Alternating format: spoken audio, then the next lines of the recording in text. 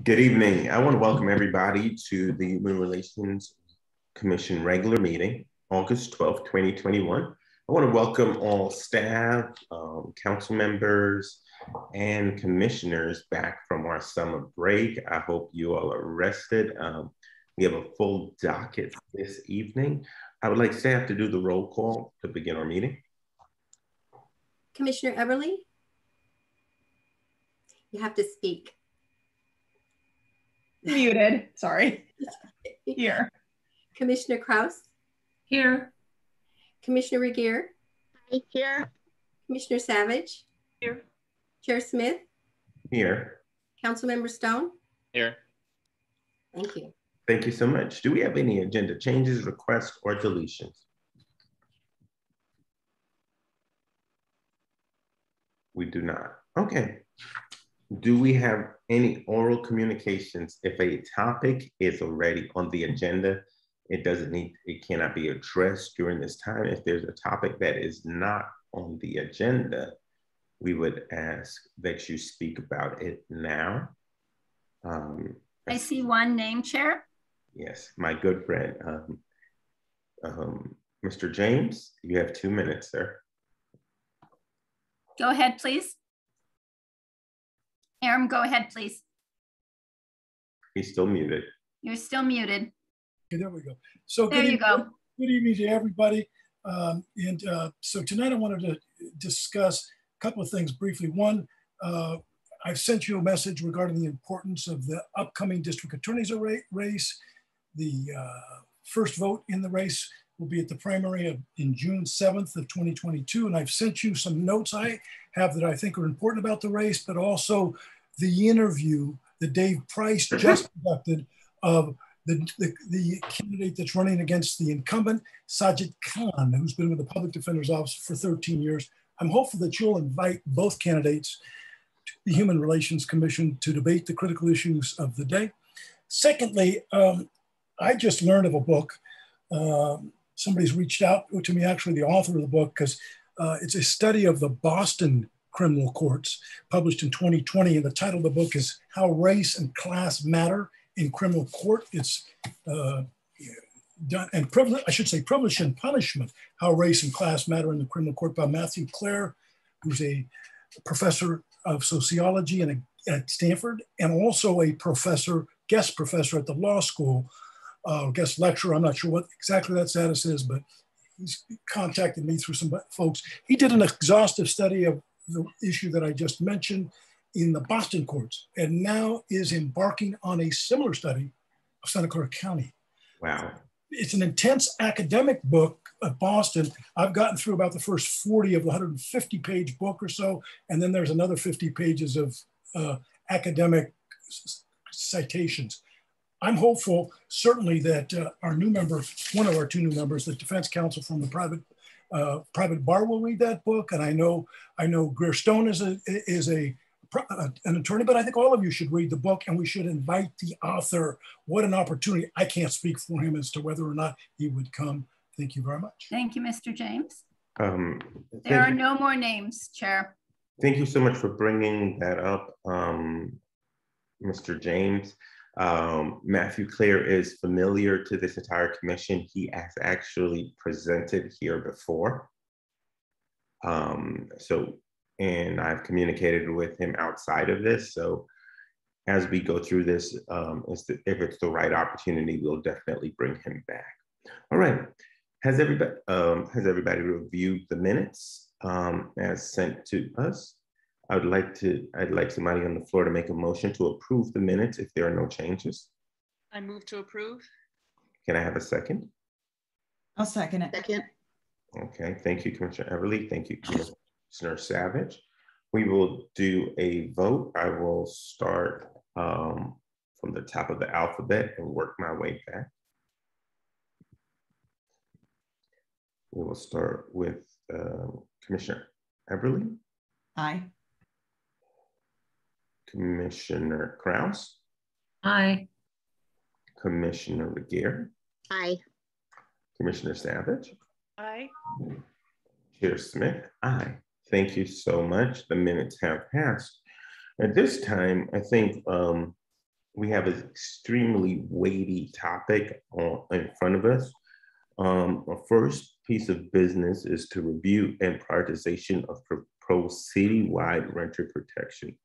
We'll have Claire Campbell, manager of long range planning, and Lauren Bigelow, partnership for the Bay's Future Fellow at City of Palo Alto. The way we will do this will allow them to present. I will give each commissioner two minutes to ask the first round of questions.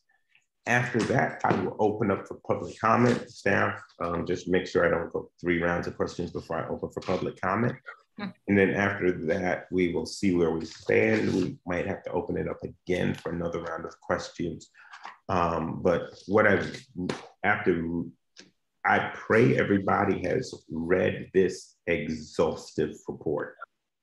Um, it is really well written. I don't agree with everything in it, but I will give them credit. It is really well written and has some good some good data points in it. If you are watching, you can go to the city page and click on our agenda to download the report because I think it will help ground the conversation. And I think it becomes critical for us to stay on task if we really stick with the nine recommendations. Um, so Claire and Laura, it's your show. All right, thank you so much. So good evening, Chair Smith and commissioners. Um, as you said, my name is Claire Campbell and I'm the manager of long range planning. And I'm here tonight with Lauren Bigelow, who's our Challenge Grant Fellow. And she's been working hard with us to do research and developing um, for developing our renter protection policies uh, for the city. So we came to the HRC this past February to get your initial thoughts and feedback on policies and outreach. And we're back here tonight to continue that conversation and ask the HRC to take formal action to make some recommendations to council for consideration. Mm -hmm. So I'm going to turn it over to Lauren and we can get started with our presentation. Thank you. Thank you so much for the introduction, Claire. I appreciate it. Um, and let me get this presentation all set up for you and we'll be raring to go. Okay.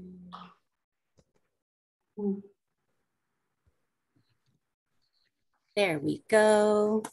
Everybody can see the recommendations for renter protection policies. Great. Okay, so good evening, commissioners, and thank you so much for the opportunity to revisit our discussion about renters in Palo Alto. It's lovely to see folks again. If you recall, my name is Lauren Bigelow, and I am the partnership for the Bay's Future Fellow placed with the City of Palo Alto to work on renter protections. To give a large overview and, and, really talk about the purpose of why we're here again. It's to talk about the research and the conversations that we've had and how those brought us to our current policy recommendations. We're here tonight to go over nine policies we analyzed and get your recommendations on what order each policy should be pursued in, if at all. To center the conversation on the folks most directly impacted, I'll talk briefly about some of the demographic data regarding our renters and housing stock, as well as touch on the current laws. So for the past three and a half years, renter protections have been a council identified concern with council directing staff to pay particular attention to relocation assistance, evictions without a just cause, and large rent increases while balancing those protections uh, with protecting the rights of the property owners. The policy development process began in March 2020, and we're hoping to bring your recommendations to City Council fall 2021 with further ordinance development occurring in late fall 2021 and revisiting the PTC and council again with proposed ordinances at the beginning of winter 2022. You can't talk about renter protection policy without talking about renters though. So here's some really quick data points. Our renters and what's most important to know about them, I think, is a misconception that a lot of folks have about Palo Alto. Actually, 45% of the occupied housing units in Palo Alto, or 11,764 units, if you want to get specific, are renter occupied. And of those households, 27% of those households are renting single family homes. 35% of those households are at either small or medium sized properties between 5 and 49 units. And 22% of those households are at large apartment complexes with 50 or more units on site. And if you reference the staff report, you'll see that 39% of the households are making more than $150,000 a year collectively, while 27% are making less than $50,000 a year. And here we can see that breakdown just a little bit more detail. Of note is that the percentage of those renters in each income tier that are cost burdened uh, is that last column there. And when I say cost burdened, what I mean is they're spending more than 30% of their income on housing costs. You'll notice that starting at $75,000 or less, or rather the orange portion here, 70% or more of those households are experiencing cost burdens to live here in Palo Alto. So those are our renters. And as I mentioned last time, Palo Alto does have some existing protections like a mandatory mediation program and one-year leases are required to be offered to tenants. Tenant relocation assistance also applies, as I mentioned before, to 22% of the rental housing stock or properties with 50 or more units on site.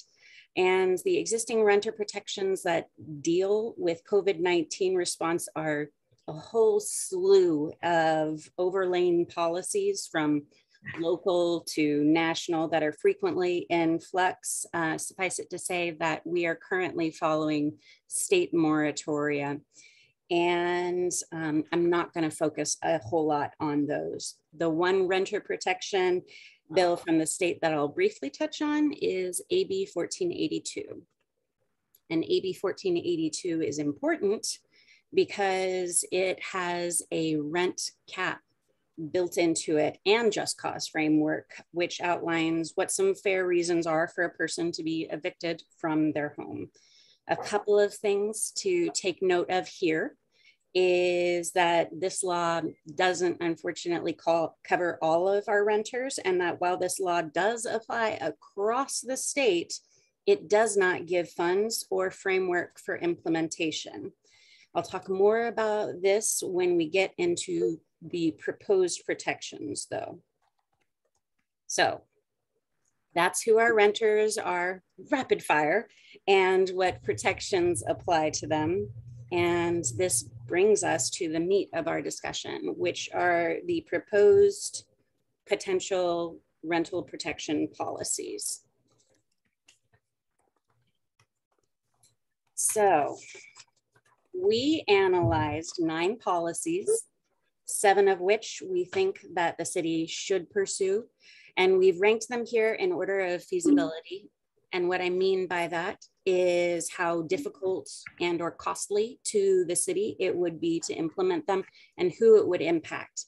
It's my hope that the order that the city chooses to pursue these policies are the main topic of conversation tonight. Our questions are, which do we have to take action on right now, immediately?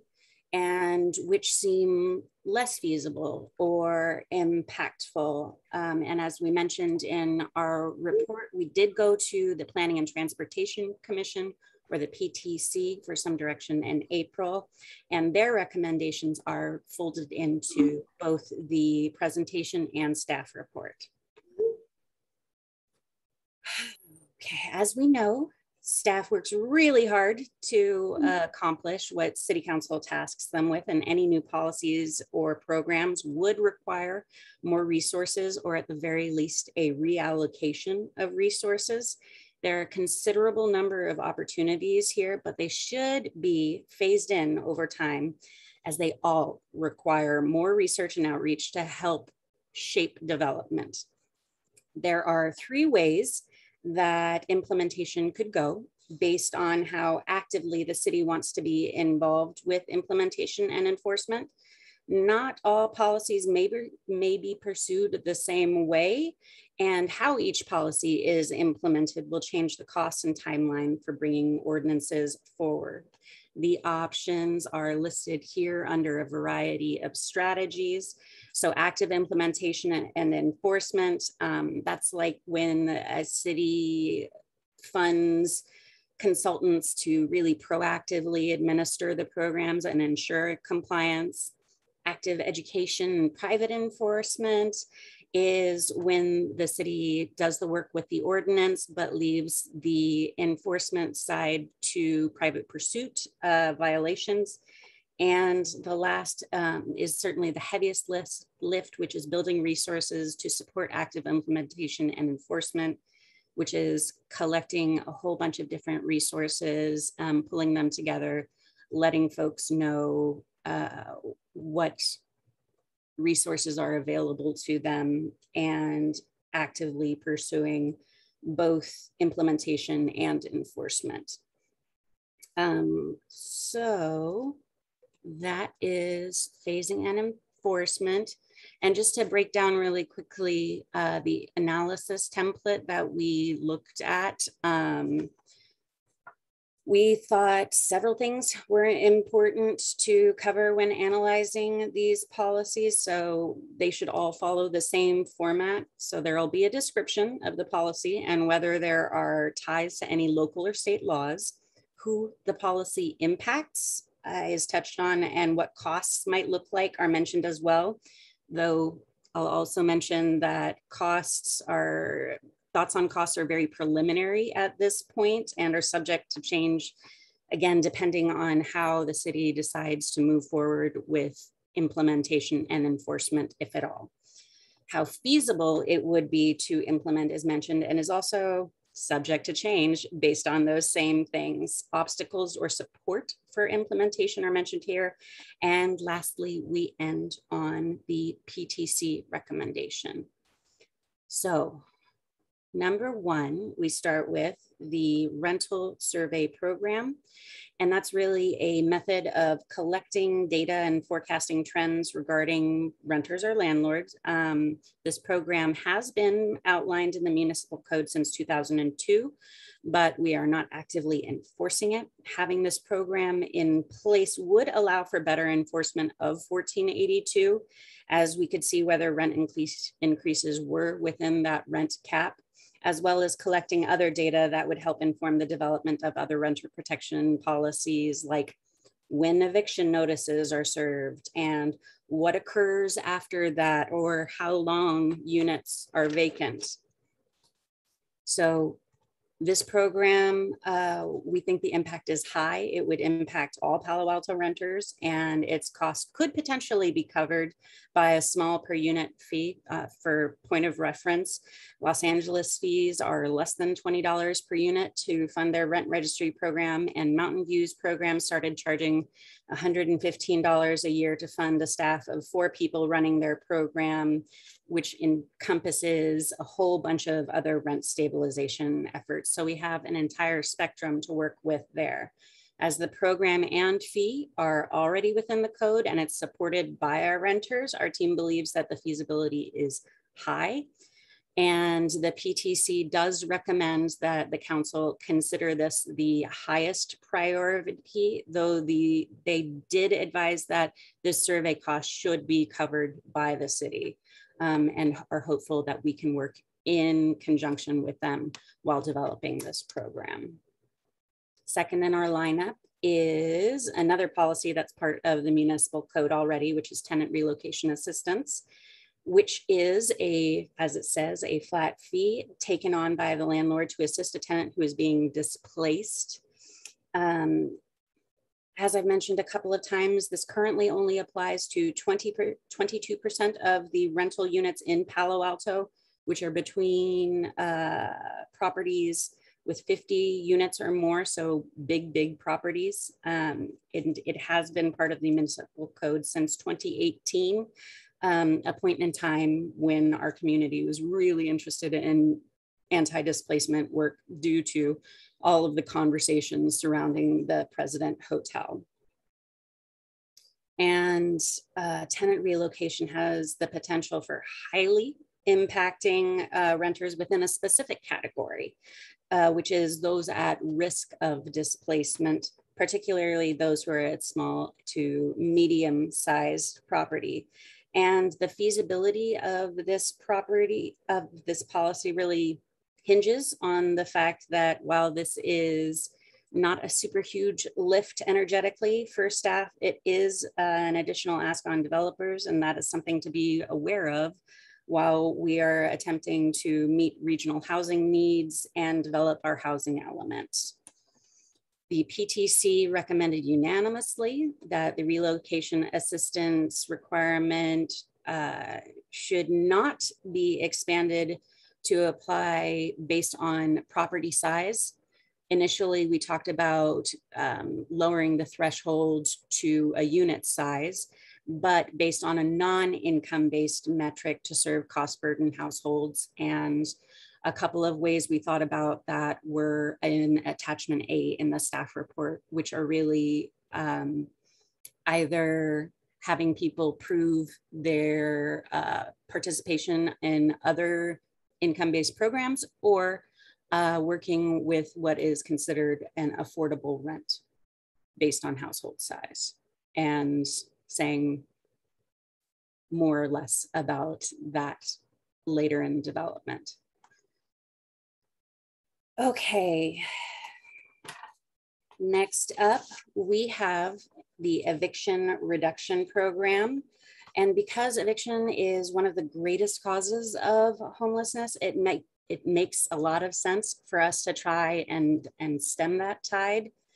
One of the ways in which people do that is through creating a framework for what constitutes a fair eviction or a just cause. Just cause eviction protections are written into AB 1482, but again, it doesn't cover everybody um, and it's not permanent. So while having these protections for some people for 10 years is a great start, uh, we can do better. So it does not cover rental units and properties built within the last 15 years, rental units occupied by renters for less than a year, single family homes that are not owned by a corporation or renters who live in a duplex, and the other unit is owner occupied. As the eviction reduction program would impact all Palo Alto tenants, we think the impact is high, but this specific fix would provide coverage for those who are not covered by AB 1482, those folks that I just read out, giving them the same rights as all other tenants covered by 1482. And the costs associated would require again further research. Um, and it, its feasibility does seem high uh, due to what seems like a, a choice for a legislative patch requiring basically no maintenance or enforcement on the city's part. Um, so the PTC recommended extending the framework for fair evictions to two of those four groups, which were uh, tenants in buildings built within the last 15 years and tenants in units for less than a year who are not currently protected um, by the statewide renter protection law. They did not recommend moving forward with the duplexes or single family home units that were called out before. Our fourth policy is anti-rent gouging policy. And um, again, that's just about providing a patch to AB 1482 so that everybody has access to that same 5% plus consumer price index or CPI amount and are protected by it. Um, the rent cap is supposed to protect folks from massive rent increases, which can force a family out of their home. Again, we think the patch is a high uh, impact, especially for folks who are low income or cost burden renters and We've already talked about what those costs and feasibility were like with the last um, with the last policy. However, PTC did not recommend extending these rent increase limits to housing units not protected by the statewide anti-gouging law. So they said none of these four um, should be protected in their estimation. Okay. Fifth, we have security deposit limits. And in California, there is state law that allows landlords to charge two times the rent for an unfurnished unit or three times the rent for a furnished unit with security uh, for a security, deposit. Um, but the average rent in Palo Alto is $3,003 a month, which means folks are looking at $9,009 for rent plus security deposit in an unfinished apartment, which is a significant amount of money. Um, so we believe that this will really lower a barrier for access um, for lower income households and those that are particularly cost burdened, though it would impact all renters. Um, so it seems like another high impact, potentially low cost effort. And the PTC did recommend that the council consider limiting security deposits to one and a half times the rent, which is slightly less than the California two times the rent. All right, fair chance housing ordinances, basically an anti-discrimination policy that limits landlords from discussing criminal background in the marketing, application, leasing, or vacating of their policy. And it's directed at really helping those who've been released from incarceration to help them find stable homes. Um, and this seems like it would be a very impactful policy that we think might have a limited cost due to the fact that this is about criminal background and property owners' rights. We think that this could be a little bit more difficult a conversation, um, though it has been passed in several jurisdictions around the Bay. Um, so the PTC did support this and recommend limiting landlords' ability to inquire about uh, applicants' criminal history. Um, and we're looking for when in the lease up process inquiries would be acceptable. That's what the question we're hoping to bring to council. Right to counsel is all about providing legal assistance to renters as they go to court for housing related issues. As you can see here, 98% of renters do not have legal representation in these matters, and it really builds off of Palo Alto's existing mediation program. Um, evictions are also uh, the costs associated with displacement and, and disruption to households um, can be really significant for a community unfortunately, um, this one is a little bit tricky because the impact is so high, um, but the cost is too. So while we think that a program is an amazing idea, it seems a little cost prohibitive at the moment. Um, there are a couple of things that we can do though. And currently there's a spot bill called AB 1487 that's being heard and it's supposed to help establish funds for right to counsel efforts. Uh, also, Santa Clara County is pursuing the creation of a housing court um, where they pair tenants with an advocate to help with their case. So the PTC did recommend that the city endorse the concept of right to counsel, um, advocating to the county, to the courts and the supervisors that an eviction court be established and support legislative efforts to fund right to counsel. Okay, last couple guys, we're almost there. um, the Tenant or Community Opportunity to Purchase Act is really about providing renters with advance notice when the landlord is selling as a way to organize um, a purchase.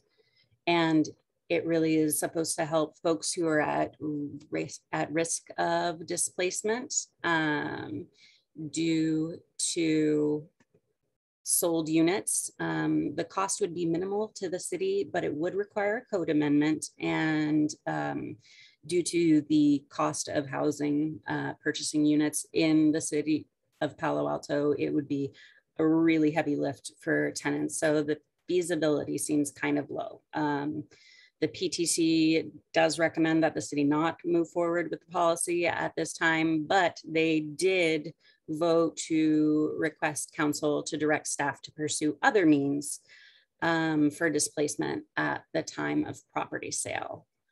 And last but not least, uh, we have proactive rental inspection, which we did not recommend, which is about keeping the housing stock safe and up to code by having code inspectors routinely inspect all rental units in Palo Alto.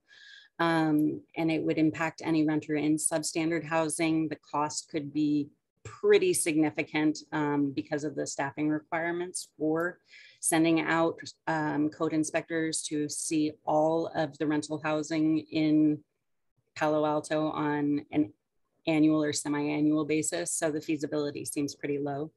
The PTC unanimously recommended that the city not move forward with the policy at this time. This is just a whole lot of much shorter ways to say the things that I was saying, where we call out the descriptions, the impact to te tenants, and the next steps to enact. Um, kind of a briefer way for you guys to see in one slide the first three recommended policies and the second three recommended policies and then our last three where we don't recommend direct pursuit of these um, or at all. So what we're hoping for tonight is to review the nine renter protection policies and provide feedback regarding for uh, support for each one and ranking the policy recommendations in order of priority. Our plan is to take the PTC and your recommendations to the council tentatively scheduled for October 4th um, and return to the PTC with ordinance language in late fall, early winter 2021. And please, please, please, if you have any thoughts that you aren't comfortable with sharing at this moment, um, please feel free to email me. My email address is located here, and I would love to talk to folks about this thank you so much for your time and I'll stop sharing now. And deep breath. we did it. One phenomenal presentation. One procedural question for you, Lauren. If we can't come up with a concise list of um, recommendations, can we have till September or do we need to hash it all out tonight?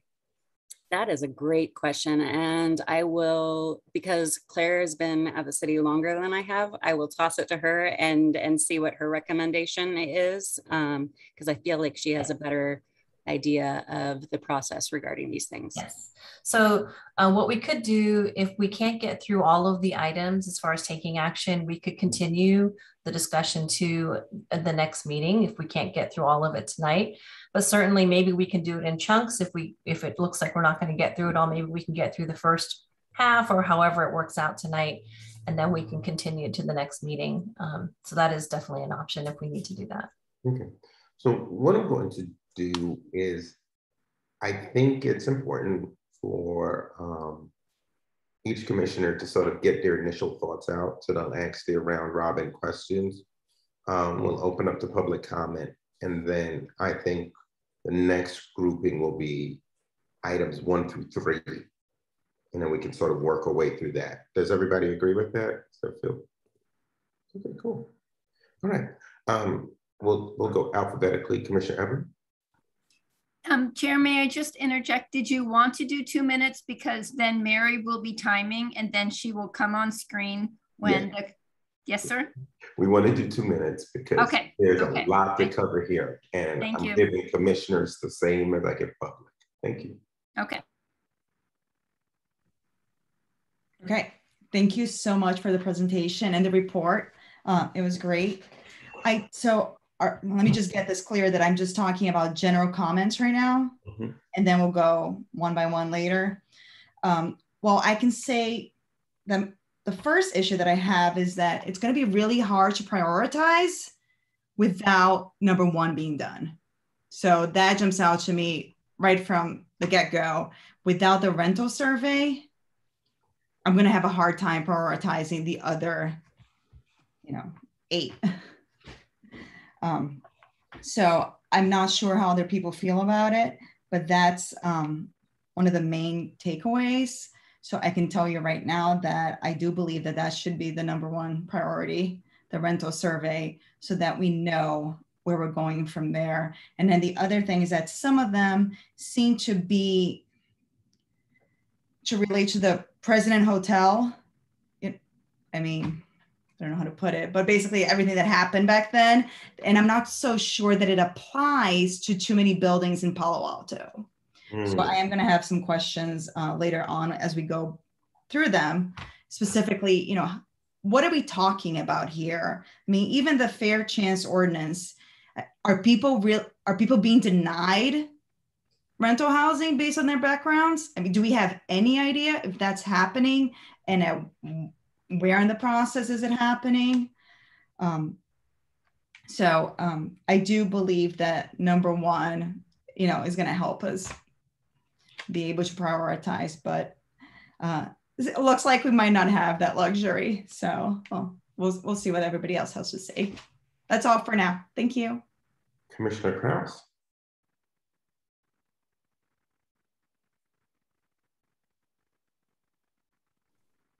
Hello.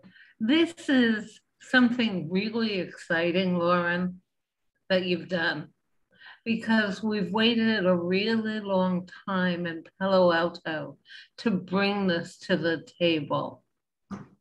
I lived the President Hotel experience. And I can tell you, and spearheaded and chose the lawyer and helped us develop the right strategy. I can tell you two and three are essential. There's no discussion. You have to handle just cause eviction. Mhm. That's on the table. No civilized city would deny that opportunity. How do I really feel? But I think that those are the issues that the rental population will find most important to them.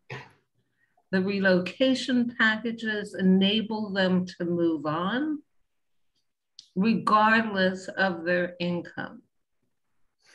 When you have to move, even if you make over 100,000 in Silicon Valley, it's still a difficult reach because that's a lot of money in other parts of the country. It's not here. So the one, two, and three are essential. And I'd like to recommend that we make them a priority. Mhm. Four, five, and six, there's a lot to discuss. One of my pet peeves is your last, which is the inspection. You have no idea what's being presented as living uh, situations. Minutes. I'm done, Thank you. so but we need to do that and consider it long term. much. Um, Commissioner Regan. All right, I, this is great, this presentation, and thank you so much. Um, so I par- apologize if I, I can't remember the slides. I tried taking some pictures, so I apologize if I'm asking a question that you already presented. But I guess um, I'm wondering if, if other cities have done some kind of surveys and, and you know what they have shown when they get the results and how it, per- how it pertains to protection, you know, like the data and how it relates to protections of renters. You know any other cities that have done something like this? And I guess, can you answer or, or do we? You can go. Lauren, you can answer. Perfect. Um, I actually, that was going to be my question if I could answer. Uh, but I, there, if you pull up the staff report, there's a mm-hmm. whole big spreadsheet that goes through all of the individual tenant protections that we recommend, as well as regional city. There it is. Yep, uh, that talks about which cities have them and which don't. Um, and they're fairly comparable cities in our region. So not only is there an overview of the mm-hmm. entire package, but there are also mini um, tables, which I have if you want to look at them for each policy as well. Um, I can throw those slides up on the screen when we address them directly. That's what I was, and then the other one is, you know, because I know I was looking at the slides, do you know what the housing types of the lowest income residents are in Palo Alto? That is such a difficult question to answer, and I, I desperately want to know. Um, but I, I, think that Commissioner Eberle really pointed out that it's going to be really difficult to do without the rental survey program fully implemented. Um, right. From from experience, I can say that um, anecdotally, when I was working with the affordable housing community um, in Palo Alto for the mm-hmm. past mm-hmm. four years. Um, at Alta Housing, a lot of folks rented rooms in in larger units, and so they split space with families. That's Is that was... my time, Mary? Thank you. Thank you. Commissioner Savage. Um, yeah. Um, well, first of all, I, I, pretty much agree with the recommendations uh, by the PTC, but um, and I also agree that number one has to be addressed before we can really go further but I, I put a star in front of numbers one, three, and five. I, I looked at those uh, as the highest priority in my book. And um, further down, number seven, you know, we have an excellent mediation program. So there should be, you know, uh, uh, I'm, you know, right to counsel just doesn't exist for me uh, because of our mediation program. And um, that's, that's my thoughts for now. All right. Um, Lauren, um, thank you. Great report. Um, as I was going through the data, I go to it. Um, I have just some fundamental concerns about some of the demographic data, um, particularly 75,000 being the cutoff point, because attachment A in your report indicates that you need to make $141,600 is the AMI in our area, and it's almost $4,000 a month in rent. So that basically is saying to me that if you make 150,000, you have to basic, you're basically paying 50,000 in, in rent, which I think if we could stretch that out, and I think the rental survey is going to become very critical because um, one of the things in my notes I've noticed is that um, young families, particularly when they get to a second child, the leap is so high to their own house, or the leap is so high to a second bedroom a third bedroom place that it's time to go. The um, really quickly, I think rental surveys ago, I do not like tenant relocation um, because I believe burdening people to develop in the city for future units. Um, we already have, you know, Palo Alto is a city of fees. I mean, they charge you for oxygen, and water and air. So, you know, charging to build more units, I think is a challenge.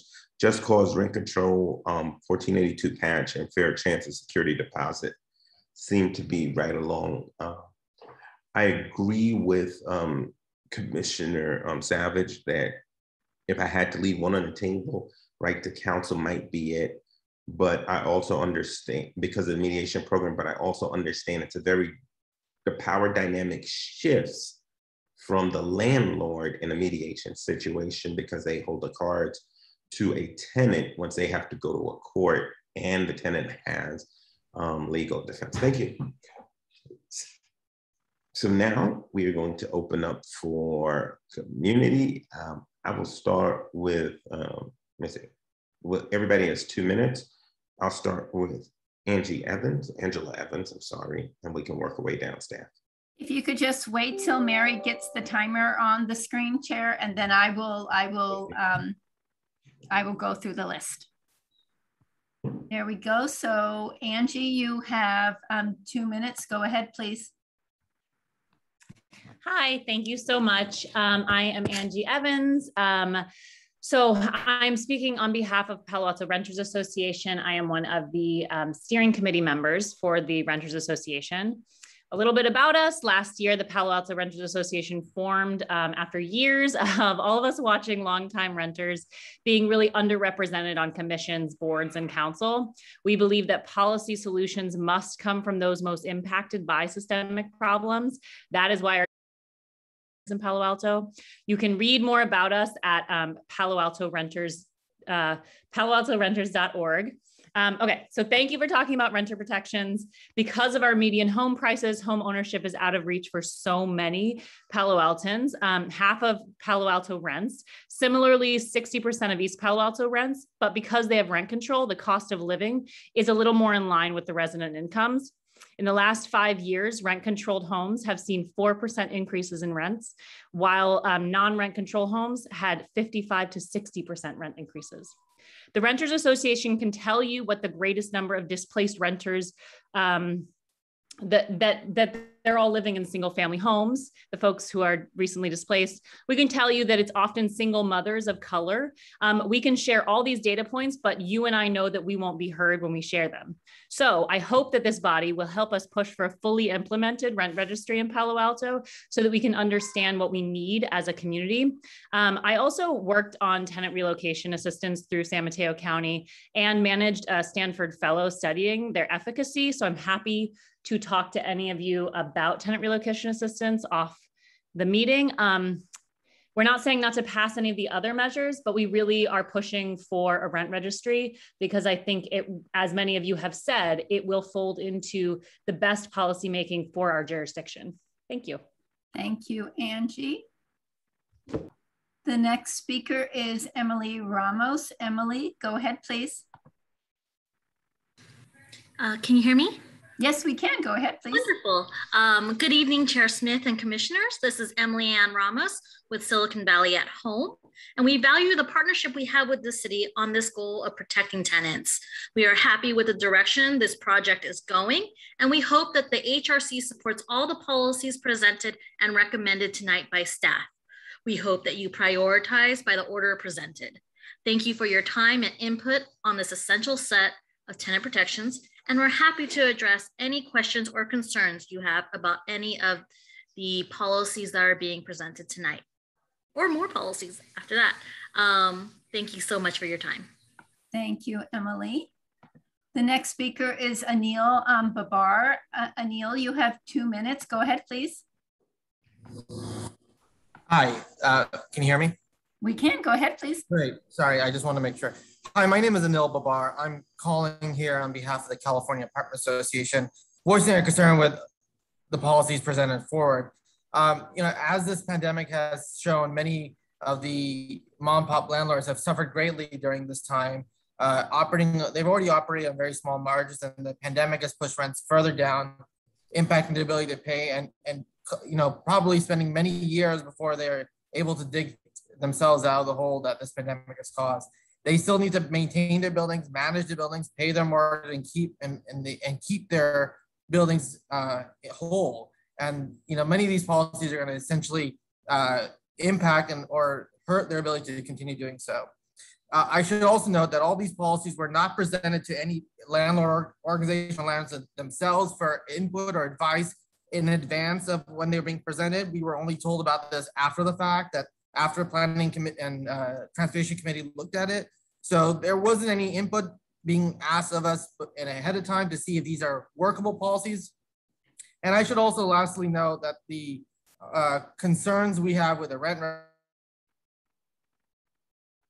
concerns about this information that contains lists of owners and, and tenants with their rent data and their rent and their names and addresses being exposed through a Public Information Act request, a federal state subpoena, or a data breach, which we've seen many times over and over again across the country in various forms. So we want to express our opposition to these uh, policies. And furthermore, request that before you go forward recommending any of these policies, that you convene a group of landlords, a public setting, so you can hear from them uh, as to all these problems that exist with the policies you're uh, putting forward. Thank you.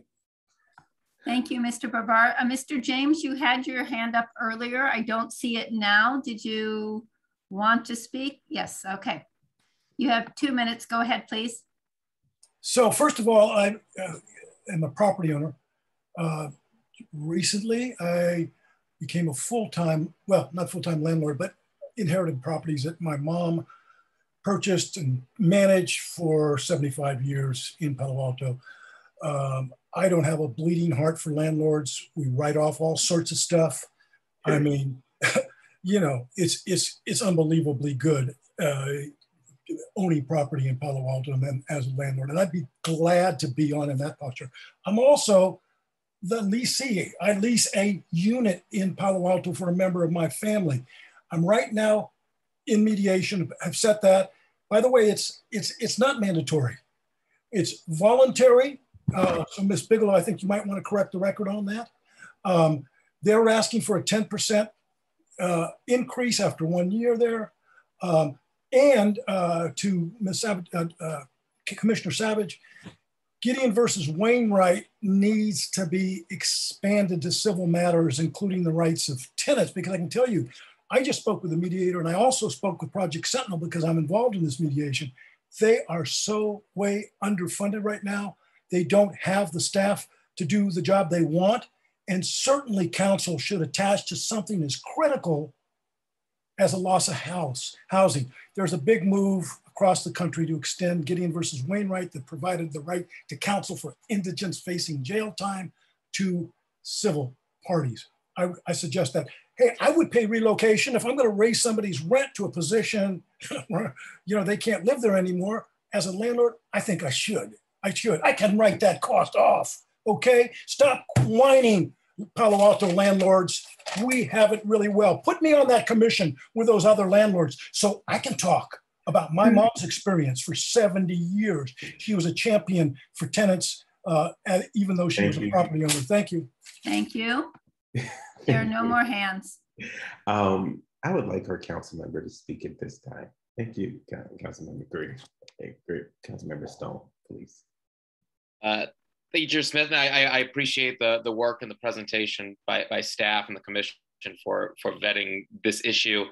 Um, I don't, I don't really feel like it's appropriate for me to kind of just weigh in on my, on my thoughts at this time. I, I don't want to bias the conversation. I'm, and I'm really interested to kind of see and hear the commission's debate on this. But you know, I'm a renter myself, and these are issues that I think are, are really important to to our, our city. So I think I'm, I'm glad we're taking up this issue. One thing I would just kind of uh, not say caution about, but just try to, a, a, um, I think that's something that'd be great for the HRC is of course, anything about um, anything that's viewed as renter protection or, or anything uh, is always very political. And this issue did come before, and I know there was a colleagues memo that was drafted a couple years ago by now Mayor Du Bois and I believe Council Member Kou. And there were a lot of groups, right? That uh, I remember I was following it. I was not on council at the time, but many groups that I expected that would support it um, that actually came out uh, against it. And I, I think with these type of issues, uh, I think oftentimes you kind of might feel like it's in the bag and there'll be a lot of support for it. And then all of a sudden you, um, you, you something comes out of left field uh, and traditional groups might not um, support it. So just keeping that all that in mind and kind of figuring out how can we address these issues um, to be able to uh, bring some kind of bring people together on both sides for the support would be really helpful. Well, um, well, first of all, um, I wanted to say thank you to all of the public. I also want to say um, thank you to Angie and the Tenant Coalition. I've watched them work tirelessly in the background. So I'm going to take personal privilege to highlight that. Um, so we'll start. I want to basically frame the discussion. Um, I, I think the question we need to ask Palo Alto is what is our value statement going to be around renters protection? Is it going to be people or property? As we start working through this, the question is, is this about people or property? And I believe um, after watch, and this is my opinion, this is not the HRC's opinion, as I continue to watch more and more issues in Palo Alto, the general direction of the question becomes people or property. So um, I want us to work through each one and so that we're organized on this, I'm going to ask for a motion based on each one so that so that at the end of it, you know, if we only make it to five and we're at like eight o'clock, I can say, okay, let's finish the other items on the agenda and let's come back next month. But I think uh, let's start with number one. I will start with my comments on it. I think um, the data points are going to be um, especially important in the rental survey is critical. I think two parts that you know I usually don't believe in the in the terminal uniqueness that we always say about Palo Alto, but two things are very critical: um, the expense of renters and how high it reaches up the socioeconomic scale, and also the level of um, rental properties that might not be fit, like people living in garages without running water and without heat and, and being charged $2,000 a month, because I've heard and seen that story. So I think really having a robust rental survey is going to be super critical to even frame this. Um, so that's my thoughts on it. Commissioner Savage, do you have any thoughts on item one? You're on mute. Yeah, Kaloma, I agree with you, everything you said. Um, nothing further to add. Um, I do like your people versus property um, uh, statement. Um, it's a good way of putting it. And, you know, we, it needs to be balanced. That's difficult to do. But, um, but yeah, those are, those are my thoughts. Thank you. Um, Commissioner Regehr. I, I guess I want to say that as a commission, you did speak for what the Human Relations Commission is. I mean, our mission, I'm just going to read our, our mission is promote the just and fair treatment of all people in, Palo Alto, particularly our most vulnerable populations. By promoting awareness of issues and enabling conversations that enhance inclusion, the HRC strives to create a community where civility, respect, and responsible actions are the norm. So I think all of these um, points I mean, I, I, I think that they all fall under that direction. I don't think we are a political ballot. I, I don't think we are a political um, being. We are a commission. So I think we can stick up to our mission and um, we don't have, that's one area that we're clear on. So that's my only point on one, two, three, one through nine, is that it seems like they follow all our mission. Thank you so much. Um, Commissioner Kraus. You have to unmute.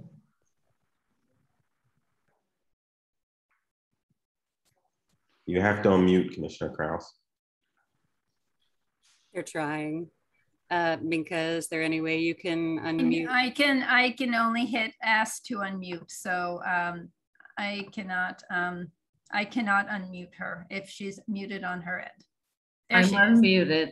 That's this my mouse was not behaving. Um, I concur with you, Chair. I think your order and your analytical reasoning on this make good sense. I concur with you, Commissioner Eberle, that of the importance of the survey. I think that's an overriding number one. We need to understand what we're working with. Um, and I commend Lauren for the extensive research you've done to date. Um, I think we have to move forward though with a little more haste because these are important issues facing this city and the country right now as we potentially move out of the pandemic. Yeah, thank you. Thank you. Thank you. Um, Commissioner Eberle. Thank you. I agree with everything that everybody, all the commissioners have said, and you, um, Kaloma, sorry. It's all right. Thank you. On the title, Yeah, Chairman, don't worry about it. Chairman. Don't worry about it. Chairman Smith. Um, I, and as I said before, I do believe that number one, the rental survey is the most important one because it will guide the rest of the protections. I also would like to see if the survey, and I hope it is implemented, that it is done in a way that we actually get to the real data. And by that, I mean what Chairman Smith mentioned, the converted garages, the sublets that are happening, because people might be afraid that they're going to be retaliated against or evicted.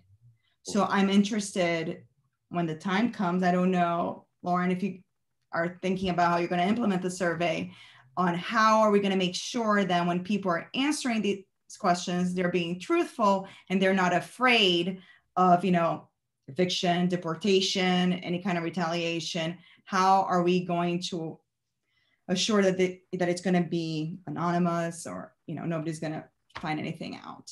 So that is my one um, concern about the survey and i would like to you know i just wanted to bring it up to your attention that that is one of the things that i foresee being an obstacle into getting the real data All right.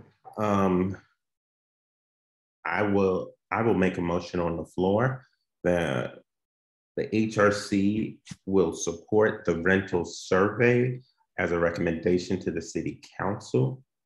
Um, can I have a second on that motion? I second. Second. Chair, may I interject um, so that we can more accurately portray the motions? Um, I'm going to ask either that, um, so Mary will be tracking it or Lauren. I do think before we vote that I, I would need it to be on the screen so that everybody could see it because we had some motions at the last meeting that when reread, um, just were not really um, uh, effective of motion. So I can understand people. There's a lot of them. People like to stay on screen and don't like when something else comes on the screen. But before we vote, I need the motions to come on screen and to be able to see them all. Okay. can i ask a question Yes, Commissioner.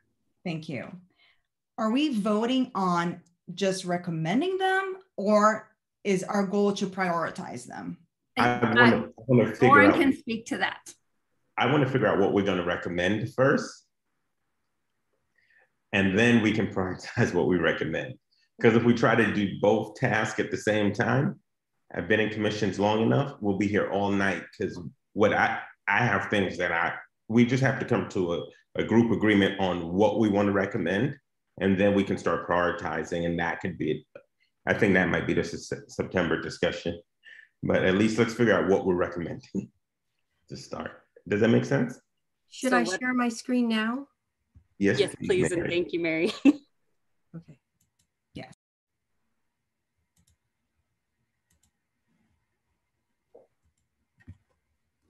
Okay. I am moving that the rental survey. Sorry, let me start over. I had a great motion before and I forgot it. Okay, Well, it said rental survey, the HRC recommends a wait, um, rental survey. It was recommended to city council. yes. that Yeah, I was- believe that Lauren has provided the language. Is that correct, Lauren? Or does the, um, is that not in your report? So we said what the PTC's recommendation was. Um, and if you guys want to take that on, do your own thing, uh, this is yours to do with as you so choose. I think that we just wanted to make sure that we had both the PTC and the HRC's thoughts on each of these policies. Okay, then I will return it to the chair. We'll make our own motions. Thank you. Um, because if we don't make our own motions, then if people want to make friendly amendments or additions, they won't be able to, the, it'll get real squirrely at that point. I move that the Human Relations Commission recommends the rental survey to the city council.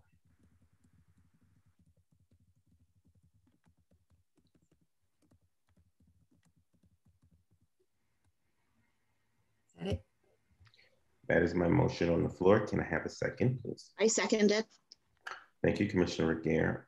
Um, we will start with the vote. We'll start at the bottom of the alphabet this time. Chair Smith, aye. Um, do you, you Chair, um, could you just ask if there are any um, comments before you do so? I, I know it feels like people have commented, but if you just give the opportunity and then you can go to the vote. That is that is the correct procedure. Thank you. Um, do we have any comments? Do we have any unreadinesses? Okay. Yes, Commissioner Krause. Um, I um, maybe we could modify this to say that the HRC recommends the rental survey um, move forward and be made a priority to the city council. I, I think um, when we do our priority orders, which will be the final motion that we do, when we figure out how we're going to organize it, we're going to say we'd like this to be a priority and move and focus on these principles, although we recommend the body of them. Okay. Okay. I'm having trouble because you're not asking them to take an action. I can only send it as a recommendation to the city council. All right. Yeah, I can't. We can the way the place that we'll be able to as as a consultative body, I can't come I can't like say I need you to vote on this, particularly the recommendation from the PTC is saying give us permission to do more research to come up with the right policies. So what I meant, just mm-hmm. for clarification, is if it was the HRC recommends moving forward with the rental survey to the city council, that would. I will take that as a friendly amendment. Mary, can yes. we make a modification? Thank you, Commissioner Krause. That, that really improves the language. Can you say it for Mary one more time? Um, the H start with take out, move that, the, in the in the prior uh, start with HRC recommends moving forward.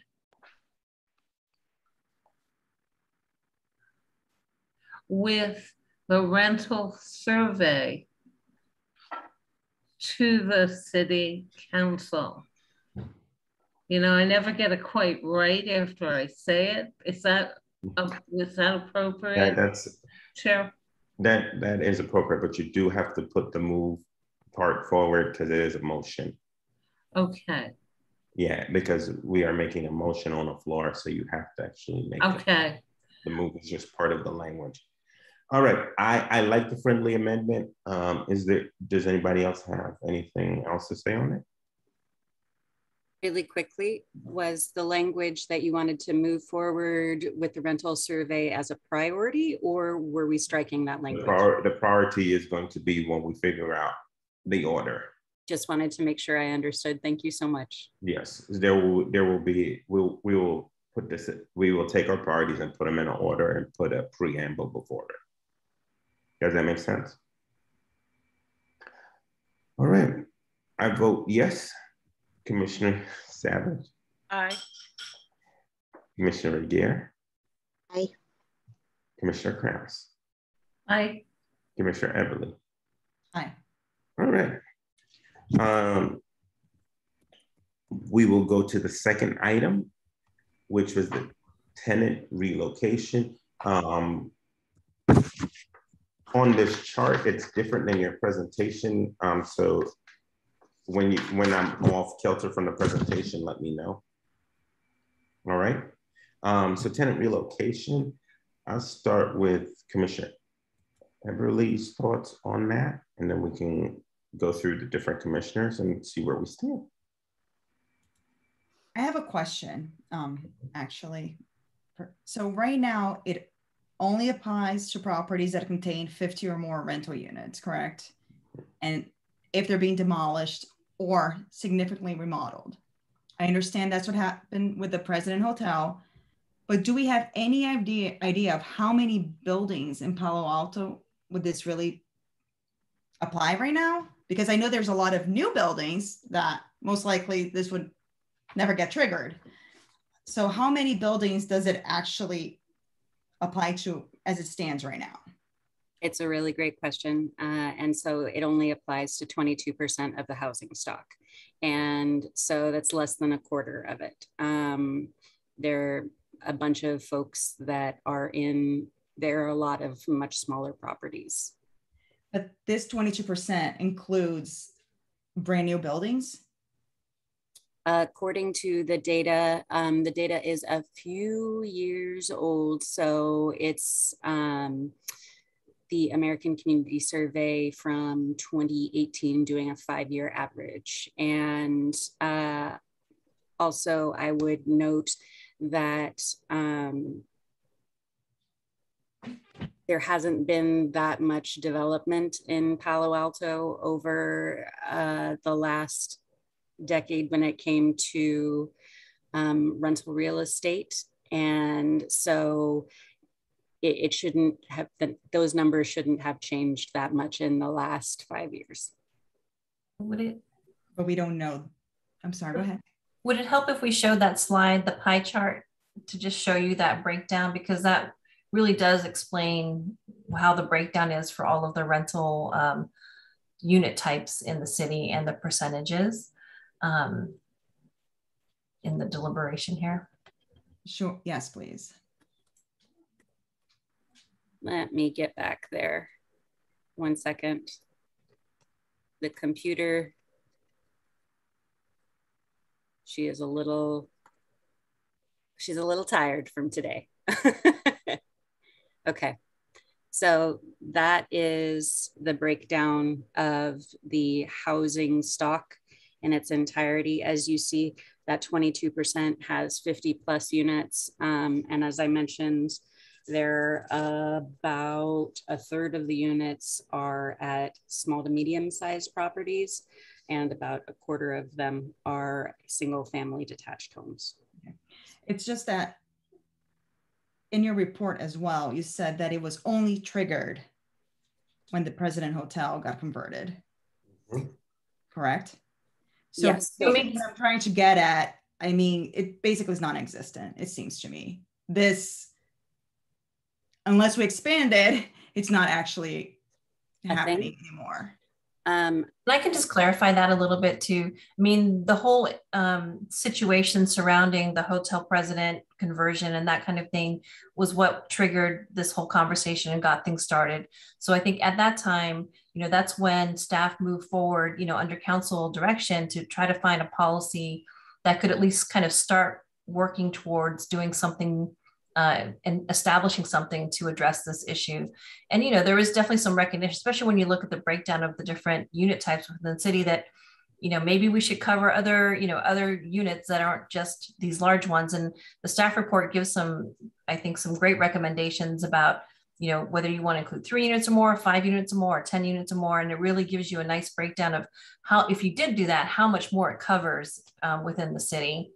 Um, but these aren't things, so the, the PTC did not make any final recommendations about the individual thresholds for this. Um, they, I think they wanted to leave that to the city council to, to work through. Um, but definitely there is some recognition that we could change this and make it apply and be more effective. Mm-hmm. Thank you. I'm not, I just want to, you know, clarify. I'm not, I think this is great and I'm happy. Oh, um, oh, for sure. And done. I just want to make sure, like, if we're that we really do need to expand it in my view otherwise it's not really like at this point helping anybody basically. I, I guarantee you that if you had these thoughts someone else probably has too. So it's good to ask these things and get clarification for the public record. More than happy to answer questions um, the other thing that I'll note is that, like I mentioned before, the PTC did recommend that we not move forward with changing the threshold based on unit size, but on uh, making sure to work with folks that were cost burdened. Um, so that was a, a switch as well. And so I think that there are probably three things to to figure out here. Do you recommend this policy? Do you recommend based on unit size or non-income metric? And those are the, I guess, the things that we're trying to figure out. Um,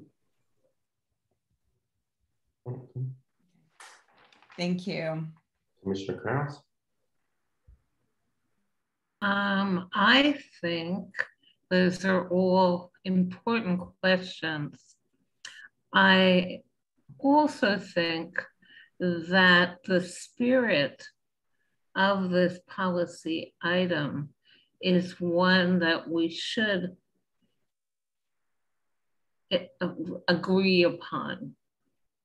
That's what is sitting out for debate.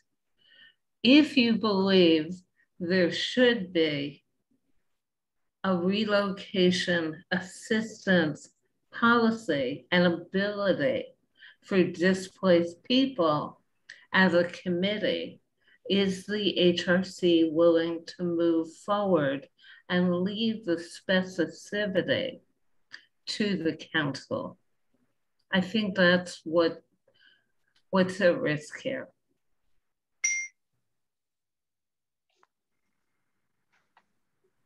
Um, let's go to Commissioner Regehr. I agree with what um, I both commissioners have said. I um, it's hard on this one because without the register, without the survey, we really don't really know what the displacement part is. I mean, we know because President's the hotel was a big thing. I guess that's my concern is that I, I kind of feel like I'm just making saying the spirit is good, like Mr. Welch was saying, but the details like units, I mean, I, I know people that have been displaced living in the small little, you know, four small houses on one lot that the owner wanted to sell and build a big one. Um, they were very affected because they've been living there for years and years and years. So 50 units, I, I'm, I don't feel like I know because of the survey yet. I just know the community a little bit on that one, but um, that's my only comment is I could agree by the spirit of it, but the specifics I um, really can't say until we get the registry to know. Laura, do you have a response? Yeah, I do, absolutely. And I think you guys are completely correct um, that having the data is necessary to support all of these things. Um, some of the work I did previously, I got to sit next to a bunch of nonprofit developers and hear what they were talking about and things. Um, and I, I, try to pay attention to local politics and I'm a Menlo Park Housing Commissioner. So I'm pretty um, tied into development trends to some degree. Um, and so with this one and the regional housing needs assessment that was done, I think um, we're trying to forecast a little bit rather. It, it's kind of like um, taking a Tylenol before you experience pain. So you're trying to protect against the pain rather than chase after it. Um, so we're trying to take care of something before we see it happening with tenant relocation, is the idea that we were working with. Okay. Commissioner Savage. Um, yeah, from the limited amount of information we have on this, it, it makes sense. It's a good idea, even though it just affects a small percentage of renters. Those are my thoughts. All right. Um, I'm glad, Lauren, I brought, I'm glad you brought up the two points you brought up because my current issue is that in talking to developers, the cost of land in Palo Alto is already prohibitive. And the amount of permits, fees, things that we do, it is a very expensive area to develop in. The challenge I have is that we won't be able to build, will this be another barrier to building low and mid housing because it adds significantly, particularly to projects that have any level of density. And that is, that is sort of my, my fear is that we, this becomes another way to stunt or clip growth because, not because we don't have the community will, which is a different discussion. We basically price the developers out with another fee. Yeah, I completely hear you on that one. Um, it is a, a, dance trying to balance between those issues and to bring it back to your point is it about the people or property? Mm-hmm. And uh, so, how do we kind of grapple with that issue? Um, it it's a really big deal for a person to uh, lose their home, and that becomes a cost to the city. Um, and it is a, a cost to a developer, certainly, if they are trying to to build more, which would help us meet our housing needs. And, and house more people. Yep. It, it's really tough balance. Um, and I think a lot of developers do a really good job of trying to make sure things pencil before they pursue. Um, mm-hmm. But I agree that there are a lot of fees to consider when it comes to developing in Palo Alto. Yep. Um, I'm open to a motion. I think, I think I heard um, Commissioner Kraus present something that could work as a motion. Lauren, would you mind taking the, the slide down? And then Mary could re um, put up the sheet. Thank you. And Lauren, um, could you put up the recommendation from the PTC? no because mary needs to take notes. And oh. but um there should can you read it? Can you read it to them? Just yeah absolutely. That's a great solution. Let me find my screen. One second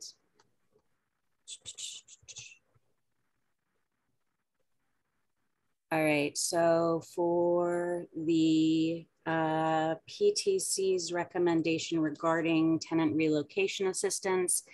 They did unanimously recommend that the relocation assistance requirement should not expand to apply based on property size, but based on a non-income based metric to serve cost burdened households.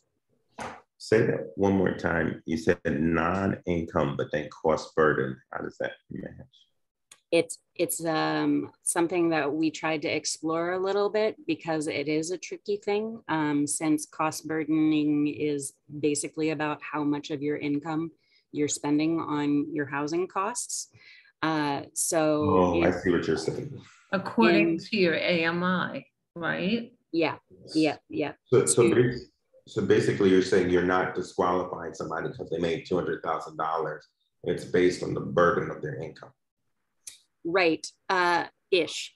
It's so initially when we went to the PTC, we said, hey, we want to figure out if we want to lower this threshold to three, five, or 10 um, plus units at a property so we could stair step and see and, and help more folks. Um, but they said, you know, let's shift this. It's not about how big or small a property is, whether it's mom and pop or um, big corporate landlords. It's more about the renters themselves and what they're experiencing. So, um, in attachment A in the staff report, it listed a couple of uh, scenarios in which we could kind of explore non income based metric. It is tricky. Um, and so some of the recommendations were to either incorporate um, proof of participation in another income-based program like SNAP um, or to um, base it off of anyone paying a rent of whatever the affordable rent is for that household size or less gets assistance and those who pay more than that rent um, and are not cost burdened do, uh, which is, like I said, it's it's kind of tricky to parse. And I think we can apologize too. I think when we wrote the motion out, it's probably it's a little we could have said it a little bit plainer too. So I think the PTC did support the expansion of tenant relocation assistance, but they had some caveats in there, like trying to explore other ways to to run that calculation. Yeah. So may I suggest we move to support the expansion of the tenant relocation assistance based upon the income metrics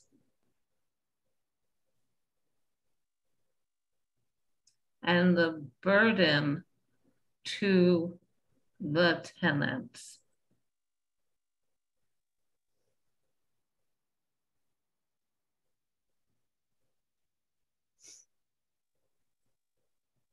Metrics is M E T R I C S. The, the X is beside the C on the keyboard, so it's a small typo. Um, let's, do we have a second?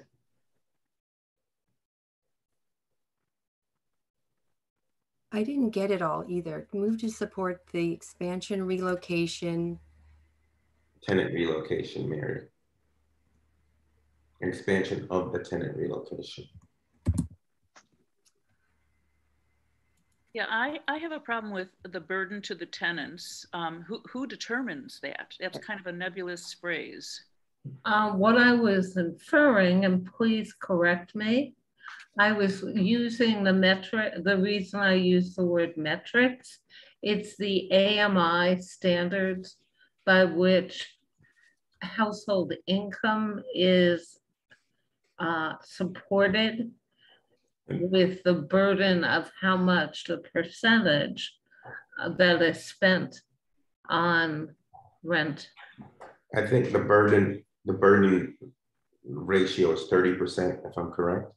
That is correct. And so in, as I understand it, Commissioner Kraus, you're saying that you do want to base this expansion on income uh, and the cost burden And the AMI burden. Yeah, we and please, burden? yeah, word this correctly, please. Okay.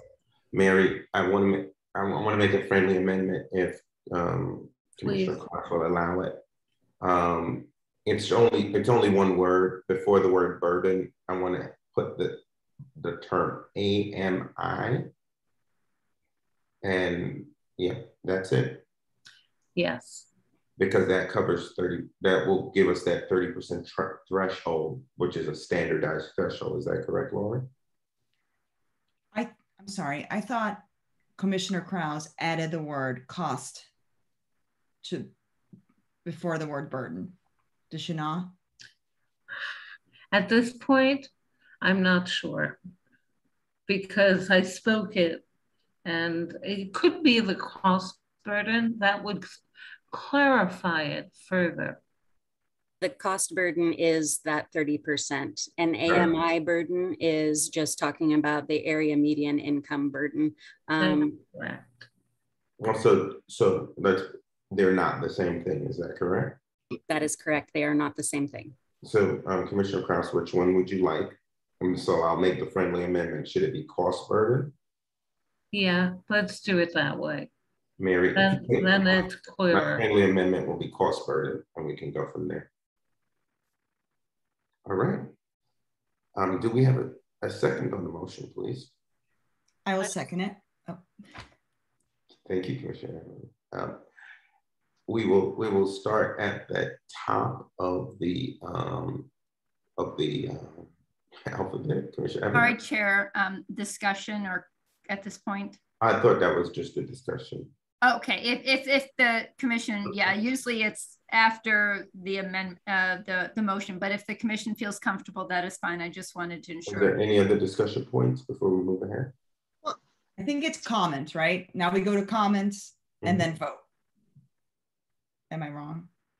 Yeah, so sometimes um, people, when you say vote, they'll say they have an unreadiness. So if anybody has an unreadiness at this point, they can say whatever, and they can make their comment. Well, if someone has a, um, has a, a motion, you can still have, you know, comments or questions about their, their motion before, y- you know, he goes towards the vote. Um, Commissioner Regehr, you were saying something? Yeah, I'm just trying to visualize the impact that it's going, like back to Commissioner um, Errol's um, point about how many people is this going to affect.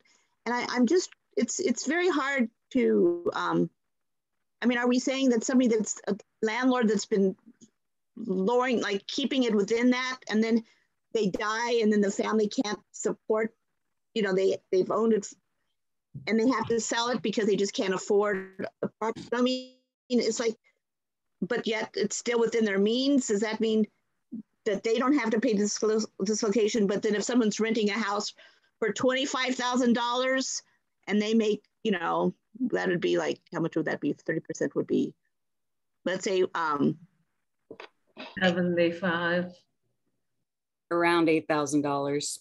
yeah.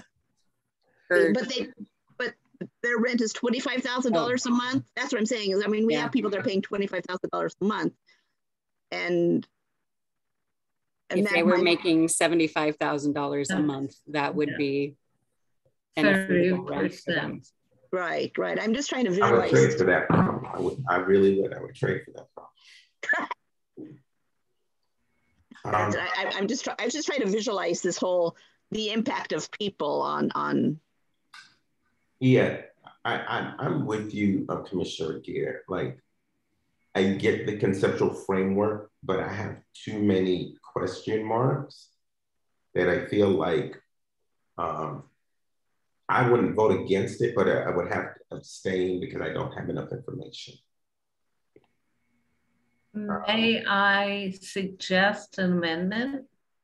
It's your, it's your motion. You can make whatever amendment. Well, if we move to support the expansion of the tenant relocation uh, policy, and we do not specify the number of units so that Commissioner Regehr, we could indeed go down to the four unit property as well as the above 50. I was attempting to expand that to satisfy that and then trying to make it income based.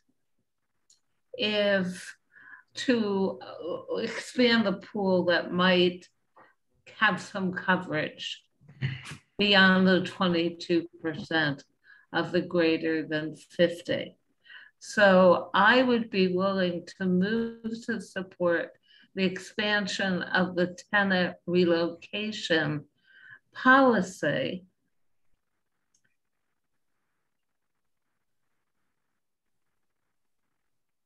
And period. Uh, leaving the, the specifications of income versus property size in terms of units to the more lengthy deliberation of the Palo Alto City Council.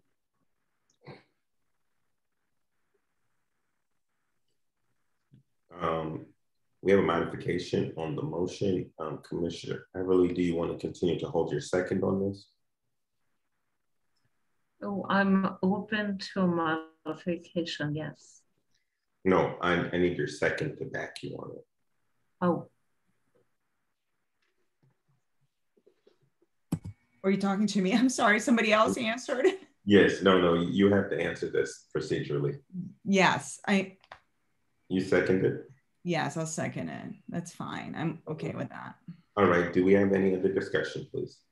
all right, I have one more. I, I, I'm wondering, um, if we could, this is Patty, I'm, I'm wondering, because our first priority is to register, we've all said that we want to know what we're dealing with with the survey. And is there a way, which was asked, which was my first question when I, when I asked at the beginning, what are we going to do with the, the data that we did for protection? And it seems like we're, we're trying to make the protections now without knowing really what we're protecting because we haven't done the survey. So, do you know what I'm saying? Can I present a compromise? So, yes, I'm trying to figure out a compromise. So, can we put in there because this is based on, you know, that we're going to revisit it after we've gotten the survey? Because so, so I think before we even get to the priority list, everybody is is leaning that the rental survey is critical. I would like to um, more lengthy. I would like to make a friendly um, amendment that says size terms units to more lengthy deliberations of the Palo Alto City Council after rental survey. Right. I that'd be. I mean, that's kind of what I was getting at. It's like um, because I think that that this is this one, and I think um, Councilmember Stone said it perfectly. Is going to be a very charged topic, and and I think you'll get a lot of anecdotal information until you have the rental survey. So, and when we go through our priority list, we have to make sure the rent rental survey is at the top of the list so that if there is this piece, we can say, we can start, there will be more data to answer. Does that make sense, um, Lauren? And can I just jump here too? Um, so I, am really hearing everyone's comments and and some of the concerns that you're raising. But when we're looking at the prioritization, we don't necessarily have to think of them as being like consecutive. I mean, we do think initially when we're talking about some of these ideas is that maybe we would focus on the the top three and get them all moving and rolling and you know working on implementation and things like that. So um, they don't necessarily have to be exclusive. Like one has to get done first and, and to start moving on a different one of the uh, you know on a different policy. Um, in some ways, I do see the expansion of the tenant relocation assistance. It's, it can be seen as an independent policy that we we if we think that there we should be covering more more units in the city, we can move forward with that even without having the rental survey information. I mean, that could be something that we recognize as it makes sense for the city, and we could move that forward. Um, but these are just some ideas I just wanted to throw out there. So, you know, we're hoping. So, so what I will do for you, Claire, is I will strike my friendly amendment. And, and we have a second because from to, to, to, to, to hear your comments, you don't want to hitch the train on this based on the rental survey. Is that what you're saying to us? Yes. Okay. okay. Um, I'm comfortable with it. Um, Can I get some clarity um, where we are now? Is it the we're at we're at we're Can at Mary possibly highlight the one that is under consideration now? We're at Kraus. That okay. one move, to support. Thank you, Chair. Yep. Or you can erase you can erase the friendly amendment, Mary. The one in there that we don't need it for the record because I withdrew it. Okay, we have a second. We have a vote. Um, Commission, do we have any other comments? I just want to say I, I totally agree because I take back what I was saying because I think we as a city need to do what's best, whether or not we know. And, and I mean by best is what for the rent. Um, in my opinion, the vulnerable, and it's it is the renters. So okay. I would be afraid of waiting waiting waiting for anything to protect renters because of the survey. That is, that is, that is fair commentary. All right, um, Commissioner, I believe your vote. Aye. Commissioner Kraus. Aye. Commissioner Regehr. Aye. Commissioner Savage. Aye. Commissioner Smith. Aye. All right. I just want to say two two quick things. Um, I really want to get through just cause rent control tonight and maybe 1482 patch. I want to try to get it done by eight o'clock because um, I know some of the other items we have, we have two other items that are going to take 30 minutes each. So we're cruising towards a 10 o'clock close time. So I want us to um, really crank in on the next two. Um, just for clarity's sake, um, you can take that down, um, Mary. I'm going to ask Lauren to read the motion on the just cause that they have from the PTC to begin our discussion. Then I'll ask each commissioner to comment in and then we'll see if we can get a, um, a vote on it.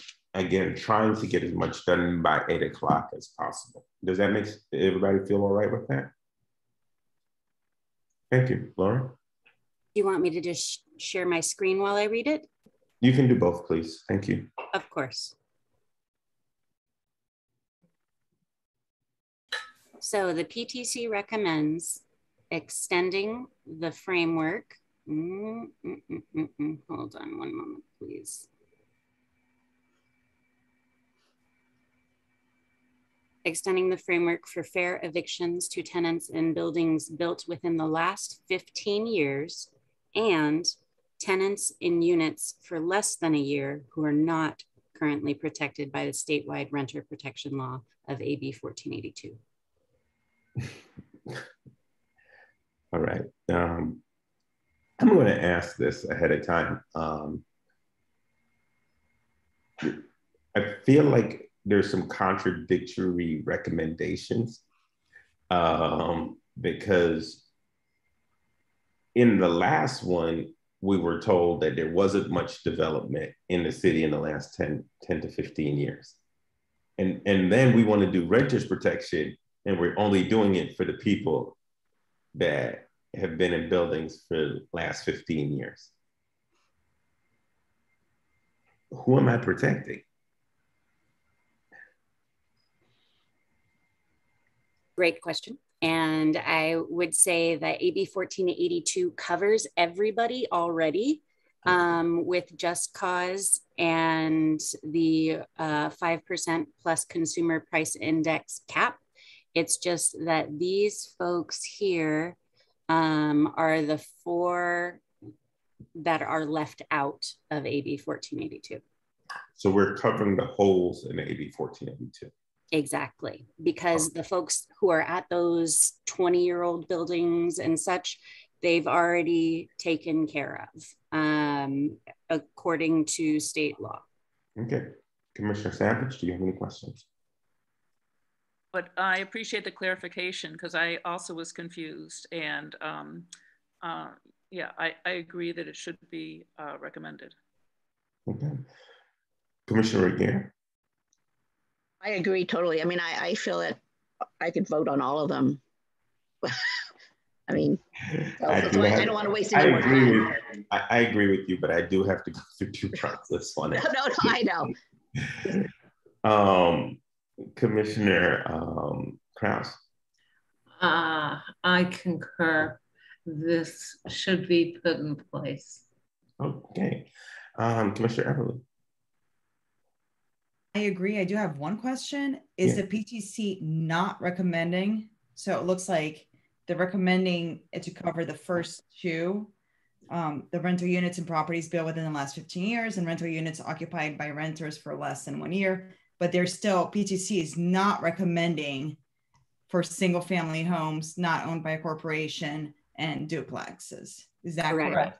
Yes, that is that is correct, and that was staff's initial recommendation that was brought to the PTC um, because it's going to be real tough um, to try and, and, enforce those last two. Uh, that doesn't mean it's not worth doing. It's just that it's going to be tough. Okay, so I'm going to ask a frank question. Um, is it an enforcement question is there also a political challenge to also getting that passed? Yes, and so it's both, I think. Okay, Commission, I'll take I'll take a recommendation.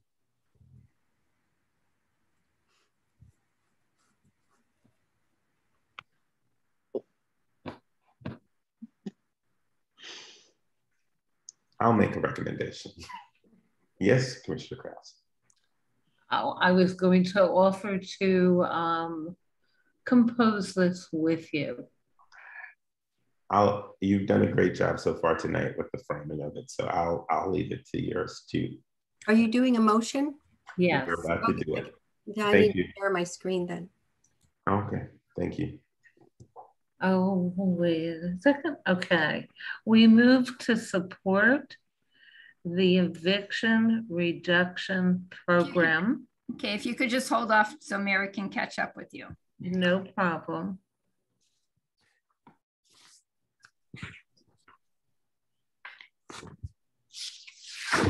That is excluded from the state legislation. And Lauren, what is the, the number? Lauren? AB 1482. Thank you. My pleasure. 1482. All right.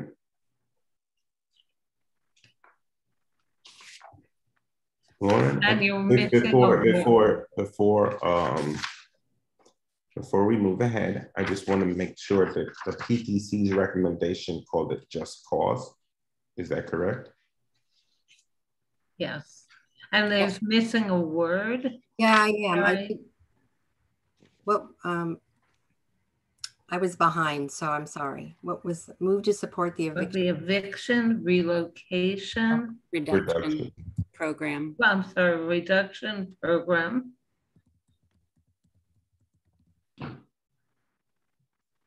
That is excluded from the uh, state legislation AB 1482. So I need to ask a question for clarification. Um, the PTC made two recommendations. And there are four categories that are not included in the state. Is this motion supporting the PTC's recommendation? Or are they, is it going for all four categories? I think it would be wiser to do the first two Okay. so that we can get this passed. excluded from the state legislate. Um, so I'm gonna, do you mind if I help with the language on this? Please, sir. Um, move to support the eviction relocation reduction program as presented.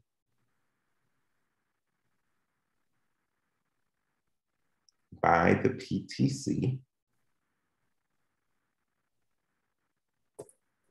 Focusing on the two areas that are excluded, that is excluded from the state legislation AB 1482.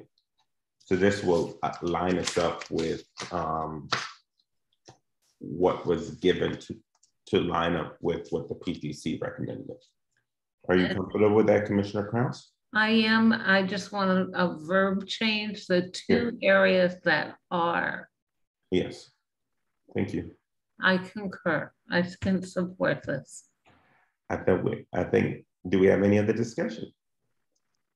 Um, I will second Commissioner Krause's motion since I helped write it. Um, is there any other, uh, discussion from any of the commissioners? I would just recommend removing relocation from the motion. It's supposed to be reduction. Oh, there it goes. Thank you. All right. Um, any any other discussion points? There aren't hearing none. I will take a vote from the top of the alphabet this time. Commissioner Eberle, do you have a question? Actually, I have a comment. Sorry. Yes. Kind of delayed that I personally think that single family homes should have been added. I understand the political arena, I also understand that that's different than duplexes with the renter, uh, with the owner living next to it.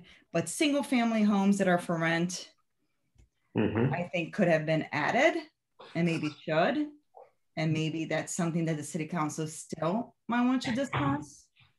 Um, but I, of course, I, I will support and I vote aye. Well, if we start voting. No, wait, so wait, wait, um, I think. Uh, Mary, we're back at discussion. Let's not, hold- we'll hold the vote. Um, That's Commissioner, the only comment that I have. Commissioner again. I somewhat agree. I think our our job is not to think. I mean, is to be bold. I mean, I really think ours is to see how many renters we could protect. I mean, that those are the vulnerable people, and I think people in single homes are vulnerable. So I I I agree that we should put that in there. And and if City Council decides to take it out and not to go with our recommendations, at least we have been true to our mission.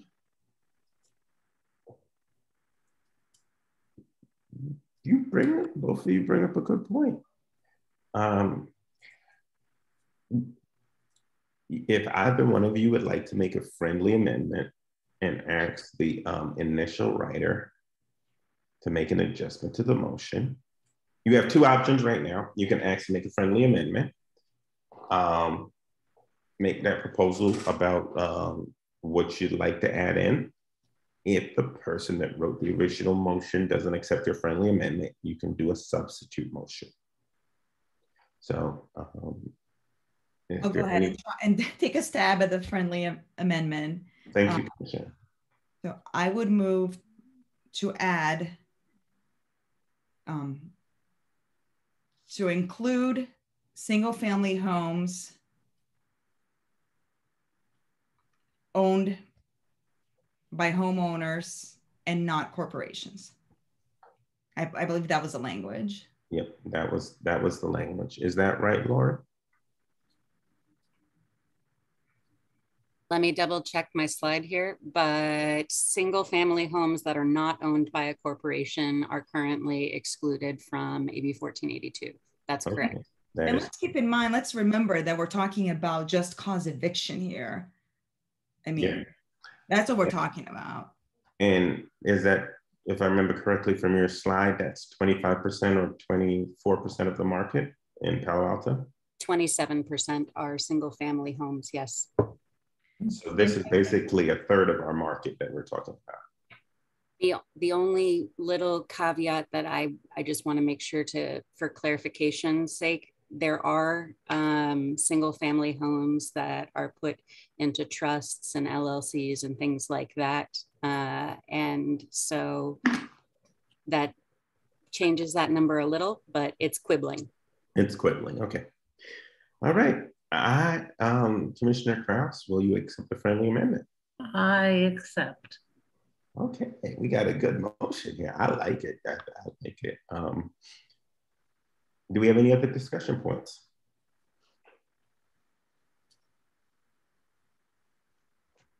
Okay, we'll start at the top of the alphabet for votes. Commissioner, I still hold my second, so we're good there. Commissioner Eberle, Aye. Commissioner Kraus, Aye. Commissioner Regehr, Aye. Commissioner Savage, Aye. Commissioner Smith, aye. Good work. I'm, I'm actually, okay, I know I said eight o'clock, but you know, I at least want to get to four. Um, because I, I would feel a lot better if we got through the four major ones and then we started working through the other ones next month. Um, and next month will go a lot quicker because we don't have the presentation. We'll just be focusing on the motions. Um, and if we have questions on anything, we can reach out to Lauren. Um, Lauren, what is the next one? Can you please put it on the screen and read it for us? Of course. And so the PTC actually did not recommend, they didn't support this, uh, this policy. What they said was uh, to any of those four categories. So those four categories, uh, as we went through them before, were rental units in properties uh, built in the last 15 years, rental units occupied by tenants for less than a year, single family homes. I I was going under four, number four. Right. Um, they both have to do with 1482. So I was just reading the, the loopholes again. Okay, and Uh, what, what was the mo- original mo- motion for four, I'm sorry? It's A-OK. Um, the PTC did not support number four. And number four is anti-gouging. Yes. It, which is that 5% plus consumer price index cap for rents. Or- as this New Yorker likes to say, rent control. There are some people who have said that this doesn't, this is actually too moderate to be considered rent control. Um, but there are other people who have said that it is a rent stabilization tactic as well. Yeah. So there, there are people in both parties, but I got you. Okay, and you gave a figure, somebody gave a figure, I think Emily Ramos gave a figure during her pu- public comment, which was very revealing in that average rents in Palo Alto went up 55%. Is that correct? Or do you have any data to support that, that point that she made? Actually, no, I don't know that I heard that part. Or Um, it was a significant increase? okay. Um, I, think Angie Evans Angie, ah, okay. made that comment, that statistic. okay. I will say that I know that Angie is working uh, with the renters directly. So she has a really great handle on what's happening at the ground level. Um, and that if folks are experiencing substantial increases, I, think that I have seen them happen before um, when I was working as the BMR administrator. Um, so I would not be terribly surprised if they were happening. And why did the PTC not, um, not support? Not recommend. They didn't recommend because they felt like it was a really new law and they wanted to see how it played out at the state level. Um, and so they didn't want to mess with the state's law for something that could look akin to rent stabilization or rent control.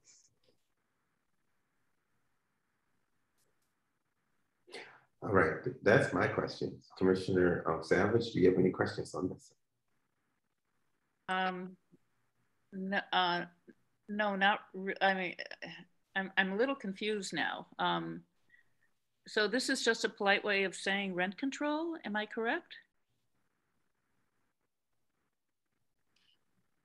So we can use the term that we were using before, Lauren, rent Yeah. stabilization. If and then maybe let's just not focus on the words, but maybe that might be easier to kind of digest.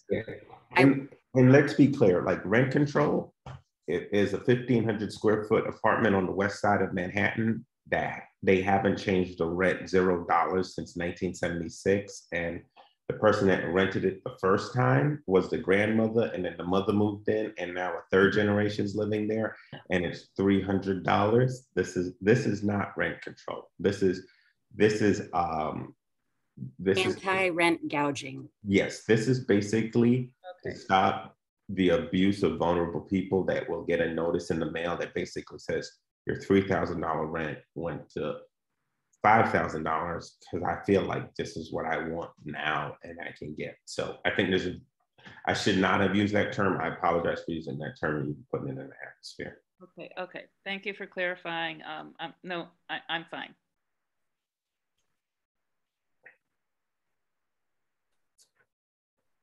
Okay.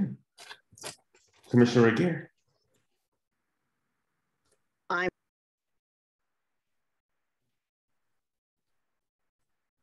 You're muted.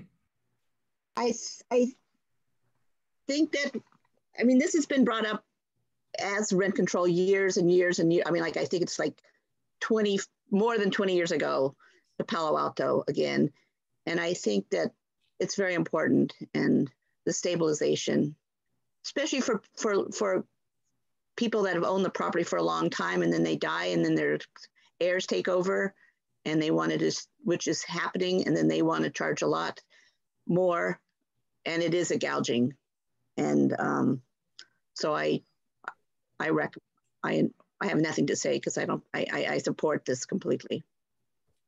So may I jump in? Uh-huh. Yes, Oh, I just wanted to just clarify that these regulations do apply and they are in place already, but we're trying to close the gap to cover these those four bullet points that we had listed on the, that slide. So um, I know this has been a little bit confusing between these two. So I just want to make sure folks understand that. And that's the idea is that are you supporting or would you like to support the expansion to cover these additional four items? Or do you think it's okay to leave it as is today? Um, I've already talked enough. I'll come back around when we go to motions. Um, Commissioner Krause? Um, 1482 is, is, you are correct, is brand new, spanking new uh, legislation. However, I think we may want to address the four uncovered categories as we did before. And we may want to include the excluded category of new properties um, one, two, and 3 mm-hmm. is what I'm suggesting. Mind you, the argument against this to council will have lines of realtors going out the door, but it's our job to take care of the vulnerable and the renters that are growing in the city of Palo Alto. Okay, thank you, Commissioner Evans.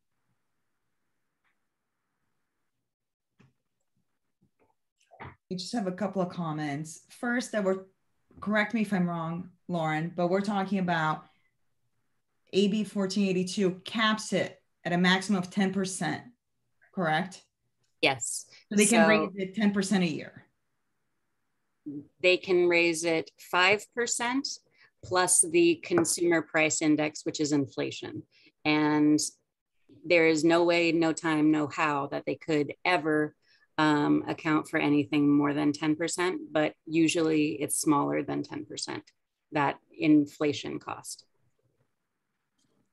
I think that the reality is that in Palo Alto, they use these increases in rent to dislocate people. And this is how you end up having people, you know, losing homes all the time.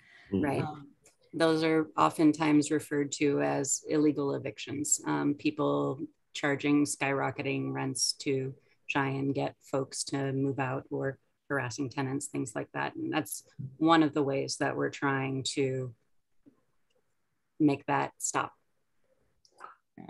Um, so I I believe that as the Human Relations Commissions that we should be you know supporting to include all four that are not included. And honestly, I feel like the 5% plus the rate of inflation is fair. And every time somebody leaves, they can, you know, rent it for whatever they want. So, and I'm a little bit dismayed that the PTC voted not to recommend this to the city council. Yeah, I, as this is the thing that I think is is the challenge with state laws and local context. When 30% of your property, your rental property is single family houses in Palo Alto, but it might, it's not that in the San Francisco or LA environment where that law makes way more sense. I think this is where local government, we as a body can speak to the fact and actually get a state law, take the protections that are given by state law, but also make them fit our context.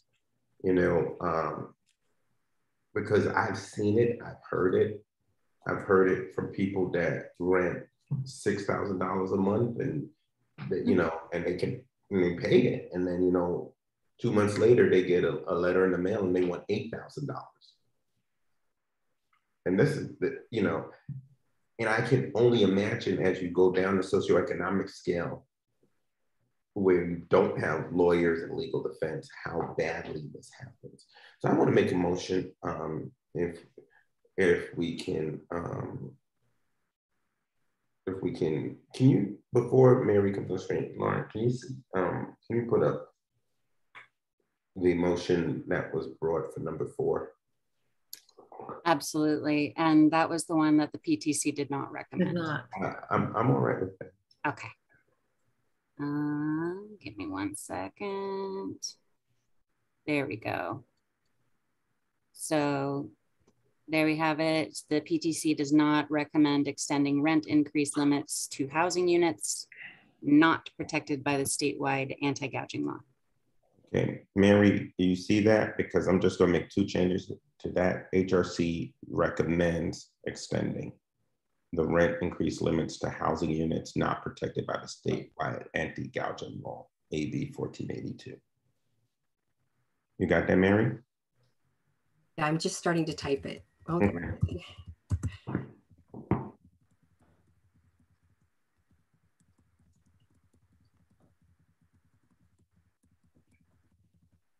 Let me know when you want to take over the screen, Mary, and I'm happy to take it down.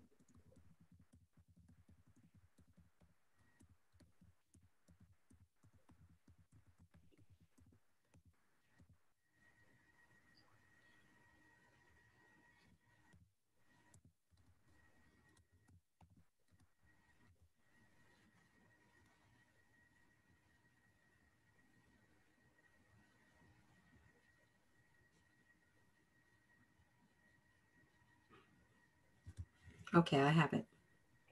All right, if you can put it on the screen for the commission to see.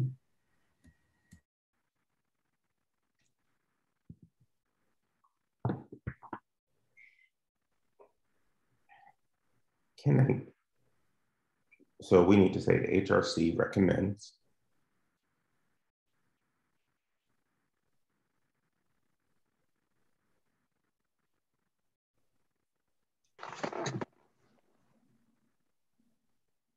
The extending Rent increase limits to housing.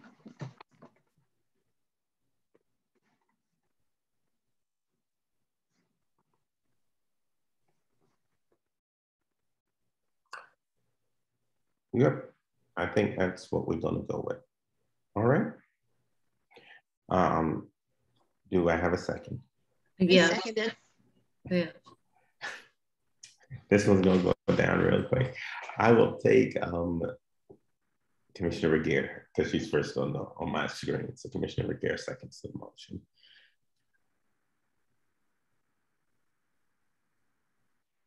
Okay, we'll start at the top of the alphabet. Commissioner Eberle, Aye. Commissioner Kraus, Aye. Commissioner Regehr, Aye.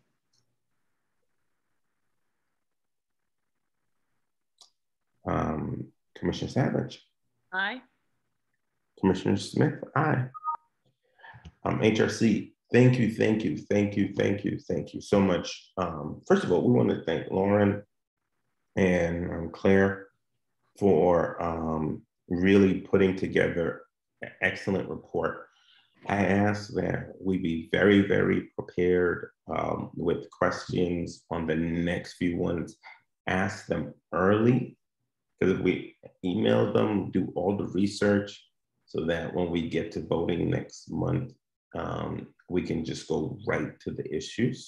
Um, and I think that will be super, super helpful because we want to make sure that we don't tie up their time if we don't do all of our research and our question asking. All right. Yes, Commissioner House. Um, could we ask Lauren to provide a copy of her presentation to all of us. That'd be great. Um, is that all right, Lauren? Absolutely. And I already sent a copy to Mary, I believe. Um, and if you guys have questions before I see you again, um, hold on. What I is a question too. Yes, Claire. I have a procedural question. Do you have to formally continue the item? Just want to make sure. I'm just gonna, adj- I'll, I'll put it at the, I'll put it on the agenda, um, during, at the end of the meeting where we said tentative agenda for the regular meeting. I'll just put it there. Great, thank you. You're And do welcome. we know what that date is? I'm horrible with calendars. Minka, do you know? So is it September 9th? Yes. September. Yes, 9th. September 9th. Beautiful. Thank you, guys. Okay. Before we go, Mink, I have a question. I understand it's the second Thursday of every month that we have our meetings. Correct. Is there any way that they can be moved or no? It's that would really depend on a combination of the ability of the commission ability of when we're back in person that there is a room that we are able to meet in ability of the mid peninsula to be able to broadcast us that they don't have another um, commission meeting or another obligation at the same time it's a co- it's a combination of um, many things Commissioner Eberle, um, do you have a record, do you have a challenge? Well, right now I'm booked to be out of the country that week because it's Labor Day week. Oh, To go, So what we can do, I know Commissioner Savage is also not able to be here, so then we will be, We we don't will have be a commissioner of three. So at the end of the meeting, if there is a desire um, that staff um, does some kind of polling to see if we could meet later, we will not be able to meet earlier because there will be the review of the HSRAP allocations and moving it earlier will be a big challenge for that subcommittee. So we can talk um, later. Um, we can look into the timeframes that people might be gone because for for if it's his rep and this to have only three commissioners there, that will not be uh, sufficient whatsoever. Um, can we note that it can't be moved to the 16th for many of us because that's the beginning of Yom Kippur? We would certainly doodle to make sure that we we wouldn't just automatically move it. We would be in dialogue with the commissioners to see what works, and we always um, do our best to avoid um, any religious holiday. well, Thank you. the chair is extremely sensitive to religious holidays. So we're not going to do it. Okay, so Mary and I I- will work with this on the commission, but if those of you who are going to take um, some, are not available, if you could just um, maybe give me your availability. If any of you are going to be gone in the month of September, why don't you email me your availability? So, because doing a doodle is a very thankless task. And um, I don't want to start and just have to start over again. So I'd like to start with some good information. So if you could email me, that would be appreciated. All right. Um, thank you, Lauren, um, Claire. Thank you so much for the phenomenal work. What I want us to give, this was a lot of heavy lifting. So I want to do two things. Um, I want to first switch our um, break time. Uh, I want first, I'm sorry. I want us to do a five minute break, let people just get up, clear their head, drink water. And um, we have a guest that has patiently waited for two hours. So I, I would like to change item three and two, um, just out of respect for their time. Is, is that all right with the commission? Okay. Yes. I hear no significant like pushback. So please take a five minute break. We will be back at eight 8:20. It's 8:14. Let's come back at 8:20 and we will be dealing with the report back on 100 community conversations on race. And if people can ensure they turn off their cameras and off their um, audio, that would be appreciated.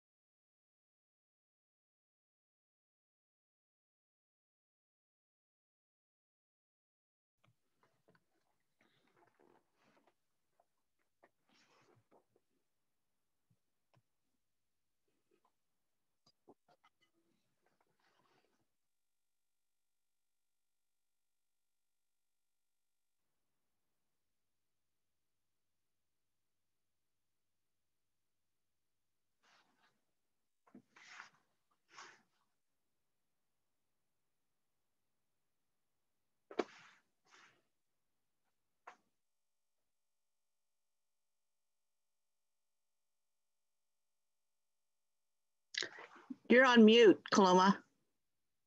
We have a very prompt group. Um, you figure I would have learned how to use the Zoom machine a year later. it didn't work for me. Um, first of all, I want to say um, before I go much further, I've asked um, former vice chair, former commissioner, um, Valerie Stinger to really come forward and speak on this matter. Um, she really spearheaded this and she treated the, you know, she came off the commission, she chose to, but she didn't drop the project in the middle and she really led this effort. So I'm eternally grateful for her efforts and I felt it would be disingenuous for me to give a report that she did all the work on. So Valerie, if you may, I would love for you to come on and give us the recap of this report. Valerie there? Or did she put us on pause? I, I will give her a call. Thank you, ma'am, because she missed my great introduction.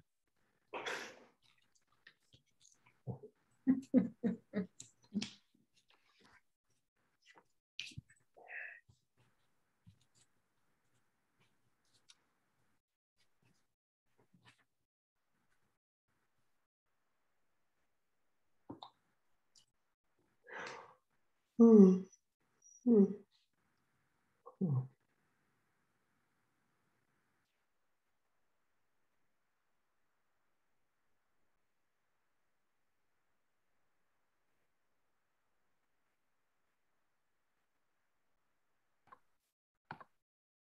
Okay, she is aware that the agenda change was made. Okay. Hi, Valerie. Good evening. You, you missed my great introduction. You're gonna have to go back and watch it.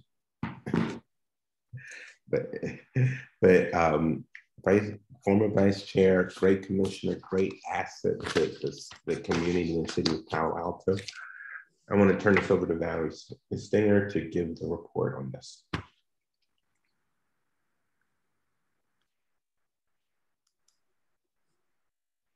You ready, Valerie? I'm just trying, I'm just going to share. Okay, go ahead.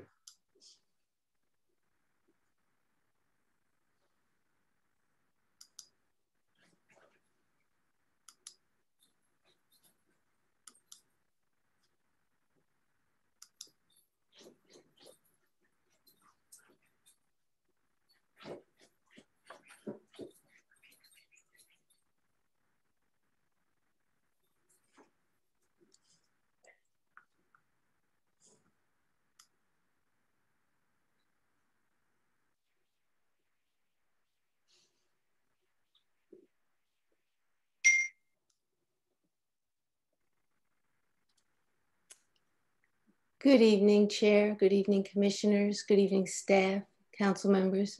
My apologies for not quite understanding the schedule change. Uh, the 100 Conversations has been a part of my life for many months, and I'm happy to have the opportunity to share it with you. The motivation underpinning the timing of, this, of the conversations is captured in this sidebar from protest to promise, and from reflection to action. The HRC had committed to the council, to the city council, that we would convene community conversations on race and belonging.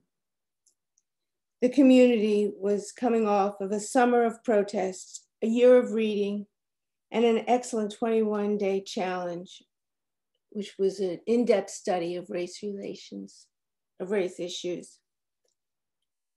We hoped by picking this timing that we could put a stake in the ground and turn things from in depth to personal and positive, and from reflection into action to make some changes in, in race relations in our city.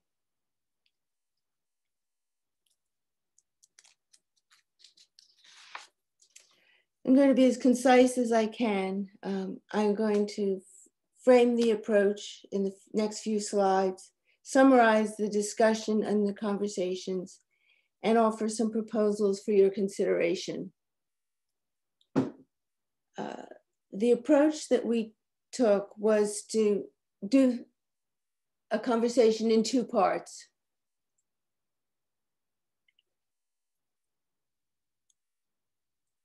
The first dealt with uh, the experience with race.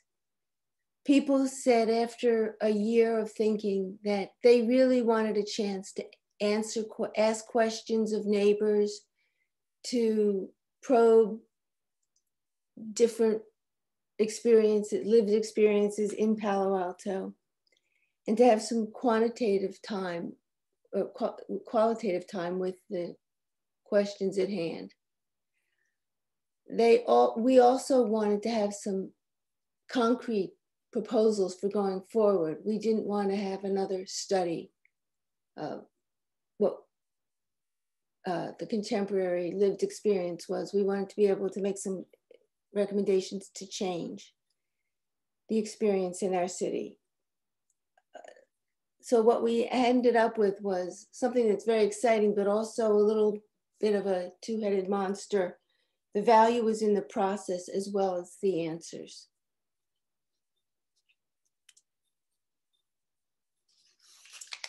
What we ended up with was 32 conversations were recorded. We know that more than that were held, but some people did not record their answers.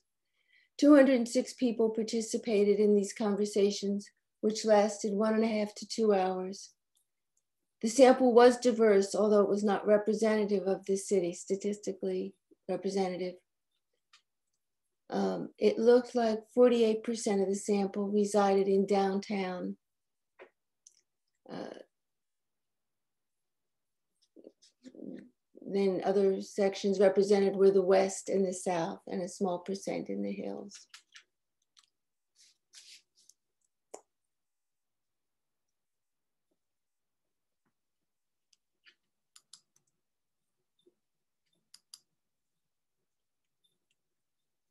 Uh, the sample was skewed to women, 75% of the sample was female, about half were in the 56 to 75 year age segment. And it was basically about 75% uh, white, Caucasian, European population.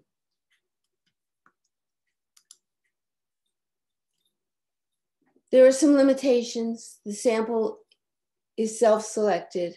Uh, so while it is somewhat diverse, it is not statistically representative of Palo Alto. It, I don't think that the groups that did not opt in would have drastically different recommendations or sentiments, but they might have less enthusiasm for the findings that we report, and they might not endorse the recommendations. Uh, the period that we did the conversations was basically May 25th to Juneteenth. And I thought that was a brilliant time to do the conversations. We were celebrating or acknowledging the uh, murder of George Floyd a year ago and ending on Juneteenth. But in the end, we did have to compete with end of year activities, graduations, schools, summer vacations. Uh, California's statewide eviction moratorium was scheduled to end June 30th. Um, and housing advocates who had been hopeful that they would be collecting groups and putting to assembling groups of participants found themselves conflicted and were scrambling to push legislators to extend the moratorium. So we lost a segment of our population and publicity for our events was nearly non-existent, a result of limited volunteer capacity and budget. Okay, what did, what was the discussion?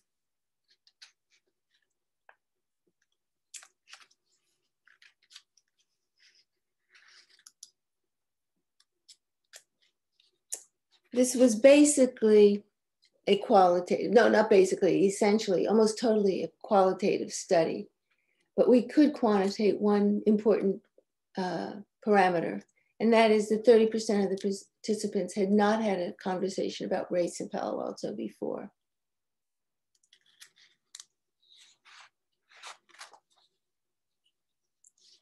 And then we also found that issues of belonging extend beyond race, even to the dominant population segments.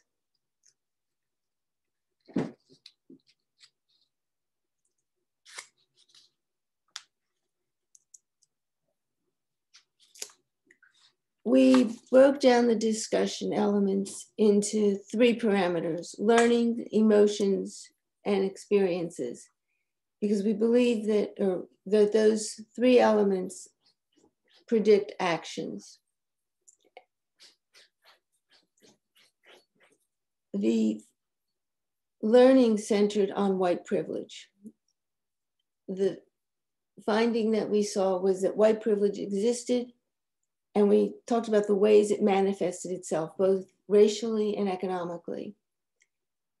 The takeaway shed light on the fact that even though we are a progressive city, there's still growth and still room for new learnings about white privilege.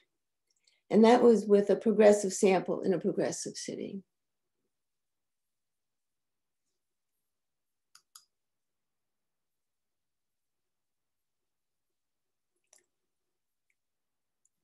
The experiences that people shared about surveillance, um, racist incidents that they confronted, refusal to rent, uh, uh, refusals to get job interviews, uh, car purchases were difficult to negotiate, uh, were significant in the time, but also significant that they that experience predicted future behavior.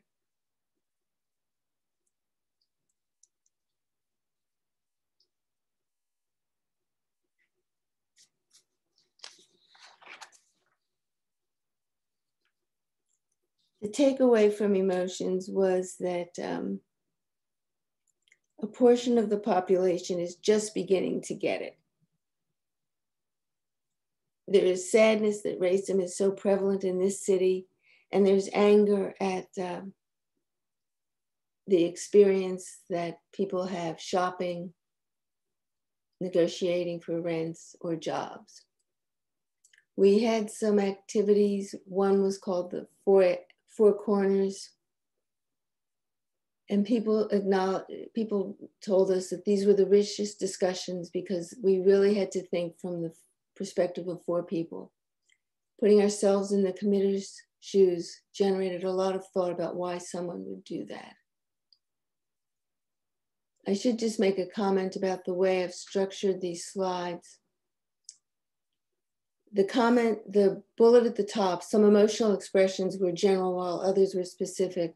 There was expressions of anger, sadness, and just the beginning of understanding were the takeaways that my subcommittee had from the actual discussion quotes, and those quotes are reflected in the subsets. So these come from the participants. These are our statements.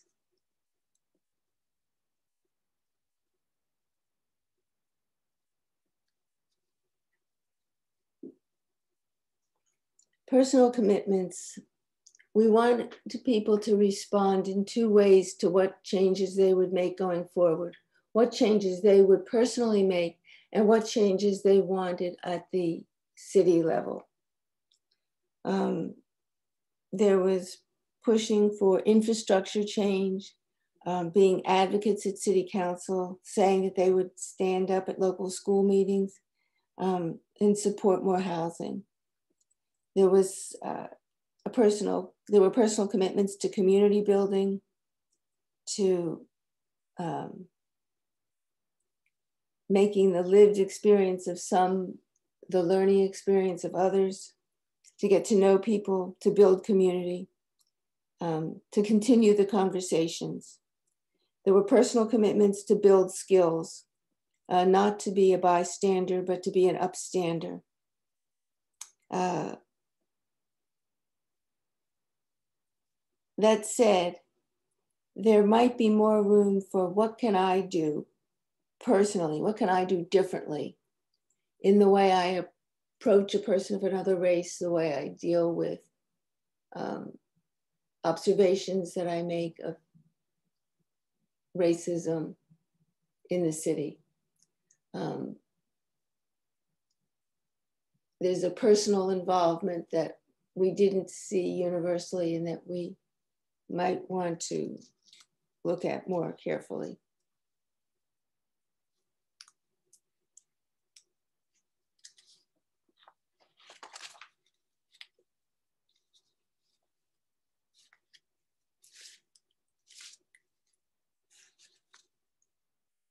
I went through the uh, discussion really briefly, but I wanted to thank the 206 people who participated. We have pages of quotes and reactions to the discussions that they participated in. But I wanted to save time for going forward.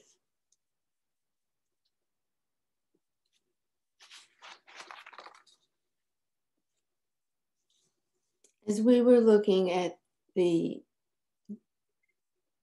output from the conversations, we saw the, the subcommittee and I saw there were barriers to being or becoming a belonging community, including economic disparities, racism, classism, and stereotypes. So, to enhance inclusion and increase the sense of belonging, we came up with these recommendations for your consideration.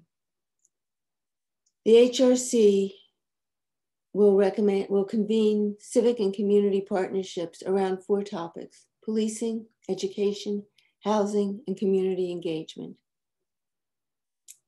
And the HRC will propose belonging as a city priority in 2022. If the HRC chooses to do this, they might look to work in conjunction with the Race and Equity Task Force, which updates policies and services in September of this year. This priority would allow a deeper dive into questions such as what does it mean to belong? How is it manifested in the community? Does belonging mean something to a different age or population segment? Who in our city believes they don't belong or belong no longer? And then what do I need to do? What's my personal responsibility? Looking at the uh, partnerships and the discussion, the partnerships that the HRC would consider. The first is policing. And our thinking under that is that the HRC will assess the need, the potential utility, the scope of responsibility for a citizens oversight committee. That committee would address police accountability and transparency, complement the independent police auditor, and add specific definition to the HRC's liaison role.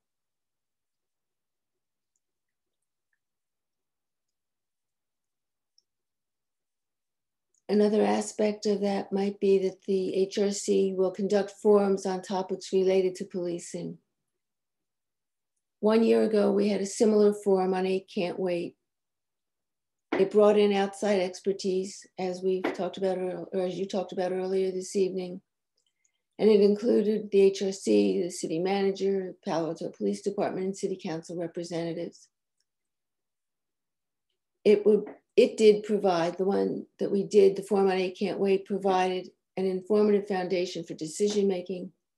And we see that similar forums could provide a good foundation and a forum for questions particular to Palo Alto.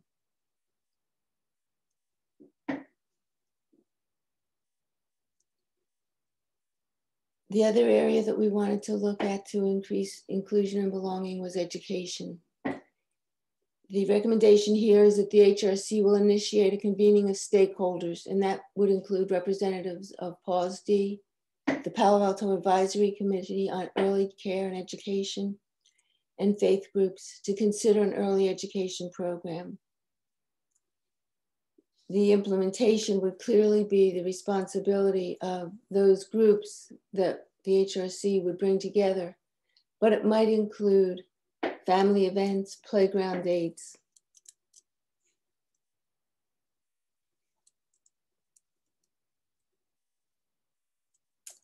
modules, training, teaching modules for in-class use, and assessment of the need for staff, staff sensitivity training. We heard a lot of ideas about education, and they are not shown here because the HRC typically does not make recommendations to PAUSD. This was seen as something that would be within our within your scope.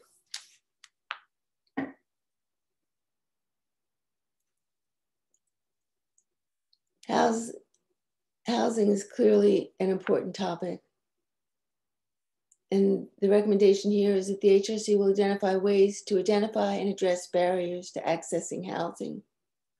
The discussion groups still felt that housing was not equally available, either retail or rental housing, to all segments of the population. I can't address whether that's valid or not, but we can say that we would look at that and to clear be clear that all the deeds have been rewritten to exclude racial discriminatory statements. And the HRC would advocate for a housing stock that meets the needs of a socially and economically diverse community.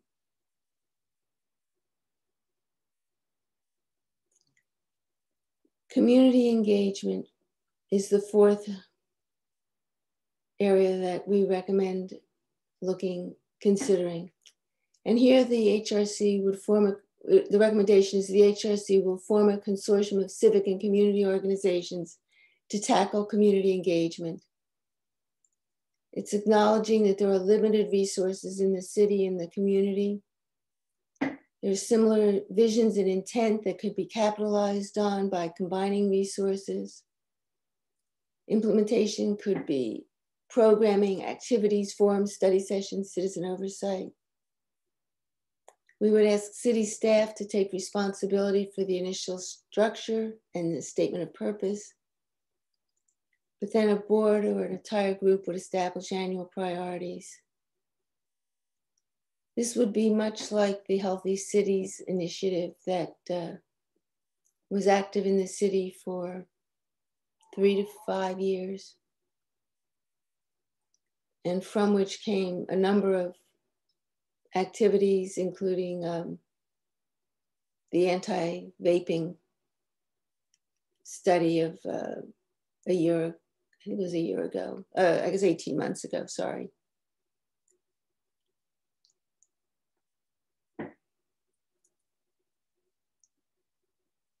some examples of things that people asked for in the um, conversation groups were in the 100 conversations were uh, more conversations. There was a real commitment to continue the dialogue. And maybe it would be something like come to the table that could be tailored to a city conversation. Um, seminars and training, a rigorous study of local racism was proposed. Uh, focus groups, baseline programming. Uh, I'm going to let you read the examples. The extensions of a 21 day equity challenge um, is something that's very concrete and receives a lot of interest. A lot of people suggested. Um, messaging, it would be great if the city adopted some consistent messaging. A get out the vote campaign, not to support a candidate or a position, but to inform, emphasis on informed citizenry, to make sure that we had 100%, we strove to have 100% participation in our elections. And then events, mini grants for block parties, cultural events in the city. I note here that service clubs such as Rotary and Kiwanis want to help the city put on these events, and they specifically talk to that in the circles that they participated in. Today, I sat in a meeting with uh, YCS, Youth Community Services, and they're doing a program for September 11th, the 20th anniversary of September 11th, a day of service. It's a combination of service groups in Palo Alto and East Palo Alto. And they're doing it under the uh, vision of community building. They would be interested in supporting activities. The League of Women Voters has a special committee on equity and social justice. They are continuing to ask, what can we do next? Um, I think there's a lot of energy around community engagement and a lot of partnerships to uh, make the implementation successful. So closing thoughts on the program. The conversations were described as rich, encouraging, and profound. Participants appreciated the opportunity for a ser serious discussion. Report and follow through are anticipated. The key now is for the HRC to actually roll the output into an executive summary of findings and to use that to create and drive a change agenda. Let's get this done. A repeating theme was that Palo Alto has evolved to a classist city, and it may be more classist than racist. Participants felt their sense of belonging in the neighborhoods was decreasing over time. It used to be, I, I heard one mayor several years ago, several generations ago, say when Palo Alto walked into the room, there was a, a feeling that Palo Alto's in the room. And that doesn't exist as much anymore. At the same time, Palo Alto has a reputation for being wealthy, elitist, white, privileged, out of touch. These discussion groups, these participants felt that we had strong values and we were more a city of values than just rich suburbs. And it was these values that meant that we might take this on successfully. Before I close, I want to acknowledge some contributions that were extremely important. Megan Swayze Fogarty, in addition to her high energy and creative thinking, was instrumental in introducing us to Mohammed Soriano Bilal and Shalila Kotadia, who gave us rich counsel and made the uh, idea a reality.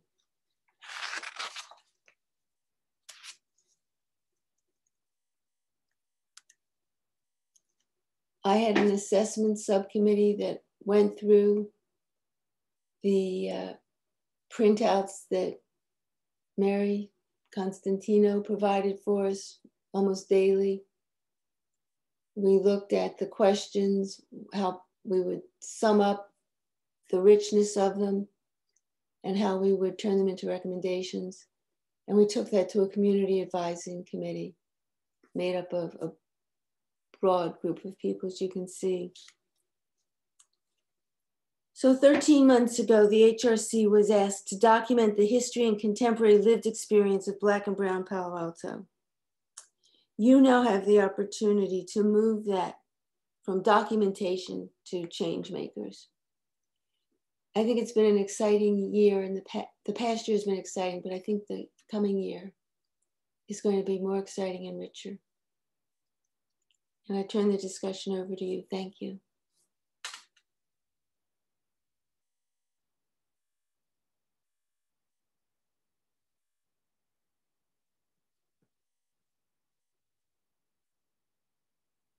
Chair, you're muted. I figure I know how to make this thing work by now. Um, first of all, I want to thank Valerie um, for this passion project that she's worked really hard on. Um, I've sat in on several assessment subcommittees and I've sat in, in meetings with Megan and, and the two uh, diversity inclusion experts from Stanford. And I feel like this is well researched, great scientific data.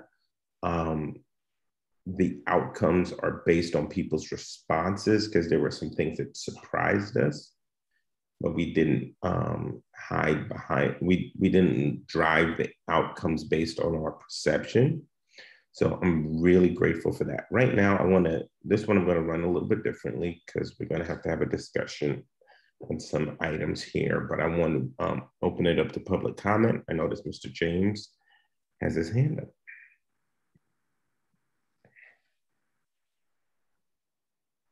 Hold on just a minute. I'll wait till Mary gets Thank you. uh,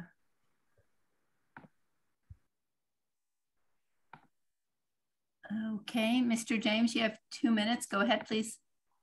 Okay, Valerie, uh, again, I want to thank you. The last time I tried to acknowledge you by uh, reading a little story that uh, my mother published uh, in her book on J her experiences with James Baldwin. Again, what you've done has been extraordinary. So, in reference to policing, um, you know, I'm referred to by the press often as the Palo Alto police critic. I prefer to be uh, considered the best practices advocate for policing. Um, I'm going to be meeting with uh, Assistant Chief Binder. We've reached out to each other on issues that I think are unresolved, canines, tasers, lack of recruiting African Americans, and a variety of things. And again, uh, the Zach Perron, the captain that was promoted after uh, racist comments to a black officer and the use of the N word is still unresolved. We don't speak about it here in Palo Alto. Uh, I don't know how we can have a, a, a, blunt conversation on race without resolving that issue. I'm puzzled by why it was only, you know, the 75% white females. I, I didn't, I, and I apologize. I think about race issues every single day of my life, but I was, I, I, don't know how I missed being part of these 100 conversations, but uh, I am committed to ongoing conversations on that. I think I would like to see not only white supremacy eh, that you've talked about and white privilege, but, but also caste supremacy. And I, I know you probably all know about Isabel Wilkerson's extraordinary book on caste, the origins of our discontent, and her linking racism and casteism. And, you know, we have a large East Asian population and there's caste shaming that goes on in Silicon Valley. And I'd like to have some East Asians present and talk about that issue, connect it up with racism. And I'm also uh, interested at some point in talking about the Racial Justice Act and the use of uh, you know, jury selection process. And now that we have a, a, member of the Independent Defense Counsel, maybe we can put the importance of being able to, talk about race to juries. And finally, then I'll let it. The DA's race is so critical on race. We got to. Dr. James. Thank you. Thank you. There are no more speakers. Oh, right. Um, first of all, um, I want to do a first round um, of impressions on the report. And then uh, we'll see where we go from there. whether we do some motions, some questions, some answers. We'll start at the top of the alphabet. So we go with um, Commissioner Evans. Thank you. First of all, I would like to thank um, Valerie Stinger for all the work. It, this was amazing. Um, I cannot imagine how much work was put into it. I actually did see some of the, I some of the I don't know marketing um, on Instagram, I believe, for the city of Palo Alto, mm-hmm. and maybe some flyers too. Um, so I did see it around, but again, I am a white woman. Um, so I don't know if it ended up getting um, focused on women in general. Um, I am. Do, do you know wh- why 75% women? And I noticed that it's a lot of downtown. Was it done at, um, I don't know, retirement homes? A lot of these conversations. Where did they take place? They took. May I answer, Chair? Yes, go. Um, they took place in parks, in homes. Um, I I can't explain why downtown. That was a total surprise to me. Um, they there were there was one group in. It ended up being one group in Channing House, um, but that was not particularly a large group, and there were men in that group as well. Um, I just attribute a lot of the publicity we got came from the League of Women Voters. And that may have brought in women. I mean, that clearly brought in women. Um, the other comment, I guess, is well, because of COVID, some people might have not felt comfortable speaking to strangers as well. Well, we a lot of them were done by Zoom. When we when we set started, we expected they would all be done on Zoom remotely, but then as we moved into the process, it uh, attracted more in-person conversations. Okay. But we had Kiwanis and Rotary; those were mixed circles. We had the we had synagogues and churches. Yes. Um, I'm, I think this is great because we have you know so many comments and um,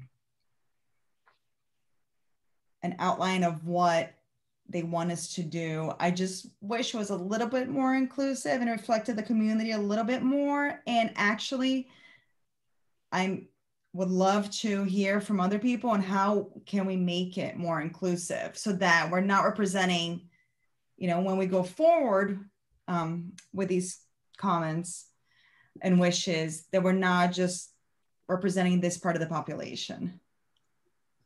I think, can I respond to that? I think that's, can I respond to that? There you go. Yeah, I think that's an excellent idea. And I think there's a real logical flow. We wouldn't have to start at the same zero point. We could be testing alternatives and exploring different programs. Uh, there is interest in looking at other segments of the population, the East, the Asian population in Palo Alto. So there's lots of ways we could extend the conversation to make it more inclusive and not be, and still advance the topic. Thank you so much. Thank you for being here. Thank you.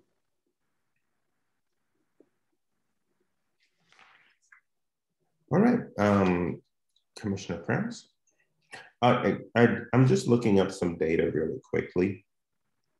And when we look at the population of Palo Alto, it is 58.97% um, white. So, so we, if you actually look at the data, we actually skew more that way. And we also skew with the average age in the 40s or median age in the 40s. So some of the skewing isn't being um, biased, it's actually being us.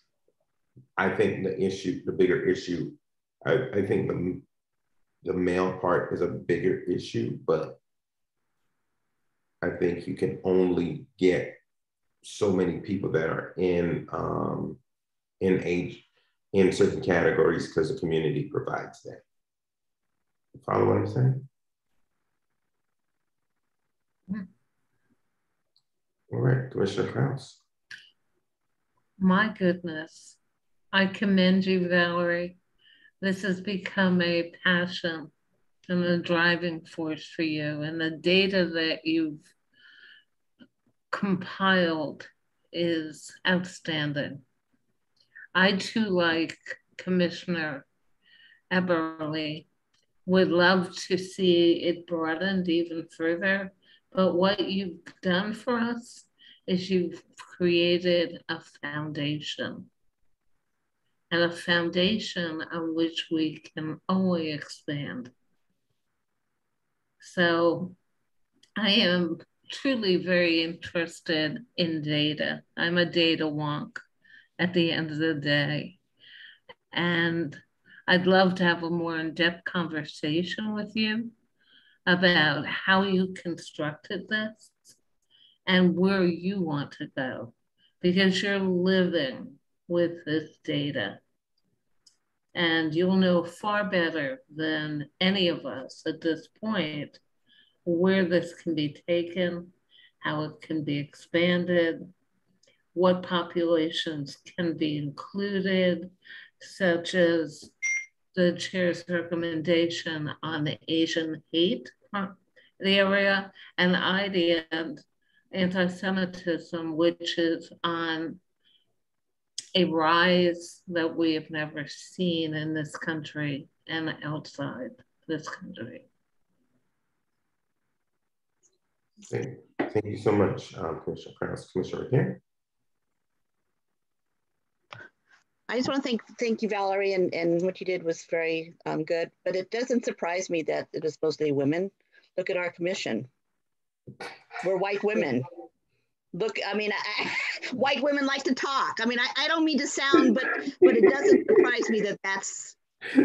It's the perfect observation. Thank you, Commissioner Regehr. All right, um, Commissioner Savage. Say Commissioner Savage? Yes, I did. Okay, I wasn't sure. Um, yeah, well, you know, e echoing all the others, um, um, yeah, great job. Um, you know, amazing results. But I'm curious, uh, Valerie, and I guess Kaloma too. Um, was there like a any really big surprises after analyzing all the results? And so, can you tell me what the biggest surprise was?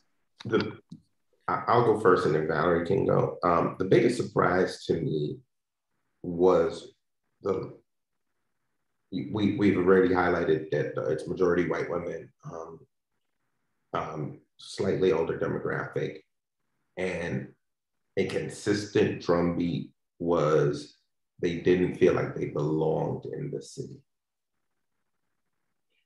And I, as a Black man, I was stunned to see that trend be continually rehammered into the results of people, people who I would assume feel like they should belong, don't feel like they belong. Valerie? That was certainly my biggest surprise. I think the second biggest surprise for me was um, the number of people who didn't um, appreciate um, white privilege, not appreciate, didn't, didn't expect white privilege. Um, to hear the number of people who said, we were shocked, we didn't know. It was like, mm-hmm. That really surprised me. So we have a report. Um, has a lot of great recommendations. Um, I would like to move ahead with sending this report um, to the City Council. Uh, I'm in full support of all the recommendations and all data given. Um, so I'd like to open a discussion about moving this report forward to Council.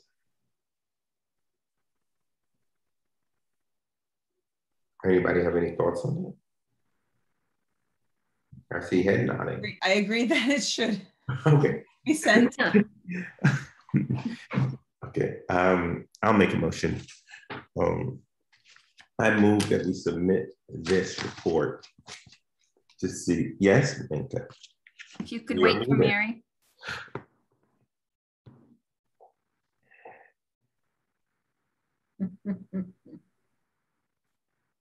you know, I was about to ask Commissioner Krause to write the motion for me because she's done a great job, but I'll, I'll, I'll, try my hand on it.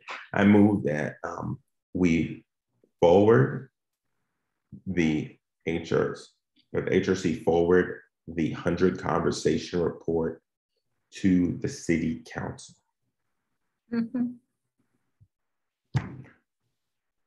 It already, that's it. Mary don't have to type anymore. I believe it already includes recommendations, it already has evidential items. Um, Minka, you have a look. Tell me what. I, I have a look because I just want to be sure because I am writing the uh, the portion of the staff report that is going to. This is actually going to policy and services first. Um, that is reflective of the hundred um, conversations um, project program.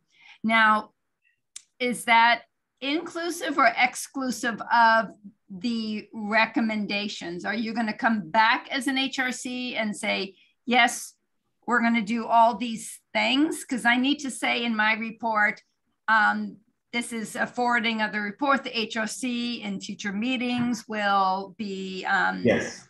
Yes, because um, I believe that this converse, the framework on the recommendations can start applying to other groups and um, categories such as the Asian American, as Commissioner Kraus said, the Asian American community. We can start doing some investigation into the Latinx community. There, this is a foundational piece, and a lot of these activities, I believe, will have some long-term. How can I say? Um, synthesis with some other work we're doing. So. Okay, so it's foundational, and then at what point would you be going back to those recommendations or identifying the first next steps? After after council comes back to us, because if I identify a first step and they think they want another first step, I think it's a, it'll be a waste of time. Okay, because I I'm still trying to understand uh, of, of yeah. just reflecting. These are these are um, some recommendations forwarded by the subcommittee that worked on it. Um, the indeed, HRC indeed. accepted a report and will be in future um, would, going back to consider these recommendations. I would actually format it. These recommendations were received from the community that participated mm -hmm. in the 100 conversations. Yes. Because the subcommittee is and showed great fidelity to the data, they didn't come up with this out of their own. Commissioner Regehr, you have your hand up. Oh, I was just waiting for you to finish because I, I didn't want to interrupt. No, go ahead. I, I just had some concerns about the recommendation thing, but you're, you're kind of clarifying it now. Yes. Okay. I, I'm just waiting. Yeah, so, so I believe, and this is my take, and it might be the wrong thing, and you can give us advice. I believe that we need to to give the city council the most unadulterated recommendations from the community. That was our goal. Um, I believe that after they do it, council had, I would believe council has a mandate to act because it's very clear that there's something there and they should send it back to HRC to work through what's there and how we can expand the work. Okay. So, but you're asking them just to do, in essence, what the HRC did right now. You're asking them to receive the report, to ask any questions, but that you are you asking for them to give comment on any of the recommendations before the HRC considers them again? I'm, I'm really trying to get clarity. Um, they can give comment and direction and ask questions, but I want it to, um, I want this to be the start of a deeper HRC work plan not yeah. go to council and die. Right. I, I think my my observation there would be if they, you know, because we have not heard what the commissioners think of the recommendations to uh, haven't filtered through them or maybe reworded them slightly, then to give them to the council already um, when there could be a little bit of you know cleaning up of them or they might have some concerns oh my gosh is the hrc going to do that? When actually the hrc hadn't really um, made that decision yet so. Okay um, let's talk to the commission. Um, I I've seen these recommendations and I've seen like six re re revisions of this report before it came before you. So I'm very comfortable with the recommendations. Um, what I'm willing to do is this. If there is anything that makes anybody uncomfortable, or if people want to have a little bit more time with the recommendations, bringing recommendation review as um, as part of our September meeting, so we can tighten it up and give and send it to um, and send it to council as a tighter package. Uh, you, you, won't have time with that. With that, my understanding, this is going mid-September, so there wouldn't be there wouldn't be time for that, unless okay. you know. It, no, it, we're not. We're not slowing the train. Yeah. Okay. Let's let's let's take a step back. Are there any recommendations in your pack in the packet that you have questions on or concerns about? Yes, Commissioner. Did, So did you my say? concern is that this recommendation is coming from a very small percentage of the population of the city. Okay. It's the sample size and the way it skews. So I would like it to be a starting point. Mhm. But again, I and I don't know if we do this with more conversations or we as a commission distill some things and then put it out there for comment or try to get survey the city. I don't know. I'm brand new to the commission, No, but no. um, I would like to get more input so that it mirrors the community a little bit more. So I, I, I think that's valid. I think um, maybe we should stop, say that this is a starting point and we want to investigate more. Um, One could observe that the recommendations are the HRC's response to what they heard and what they would be working on. And the work of community engagement is going to happen in living out these recommendations. So I, I this is, you know, to a certain extent, some of these, you know, involve meeting with members of the public, but they could give, let's use the childcare example for one.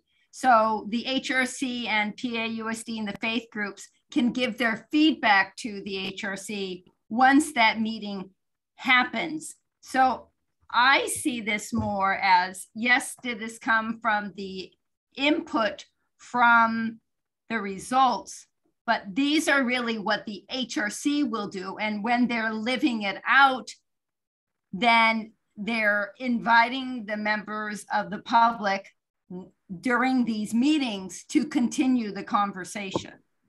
Am I over speaking, um, Chair or um, I, Valerie? I, I, I- think, I think you would hit the vein that I was trying to hit and Commissioner, I, I don't want to speak for Commissioner Eberle, but I think what, what I was hearing from her was a similar thing, like this is a foundation, a starting point.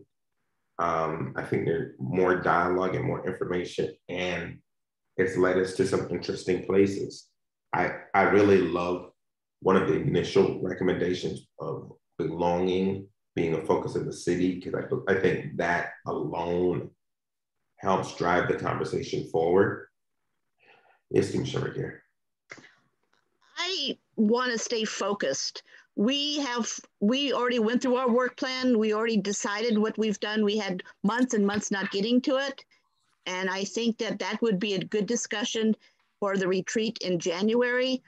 Because if we take, I, I just think that, that discuss, you know, 75% were women saying that they don't feel belonging.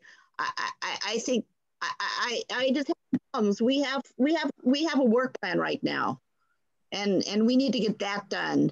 And i'm not saying i'm trying to disregard this but that's all this information and even more can be done at our retreat where we set our new agenda for the work plan. Then we'd maybe have more information. But to go go forward i think that we we need more input if we're going to take other things and do it at the retreat. We So- already have a work plan. We have a work plan So item number one on the work plan is this, this inclusion and belonging. Right. And that's always been one of my big things, but we've never, um, I mean, we couldn't even, I mean, I, don't mean to sound, people don't want to belong from things that the city, what I'm saying is that how many people, we had 200 people, 206 people, 75% white women, and they're saying they don't feel like they're belonging, but they're the ones that showed up. I mean, I, I, I'm just saying that that is a good one, but I think it takes more, more. Um, I'm trying to be positive here, but I don't want to spend my time. How do I get more, more people who are saying they don't belong in this age group? I mean, I think that we, if we have meetings about belonging, it's around housing, it's about um, how they can participate in, in, in their life, life about rent control. We've already had that approved. We've already had that approved. You know, we've already had approved belonging, so we don't need to say we're going to work on it. That is our work plan. is my thought. Okay. Um, any other questions? Yeah, um, I have an idea. Um, there, there's quite a uh, quite a few action ideas here.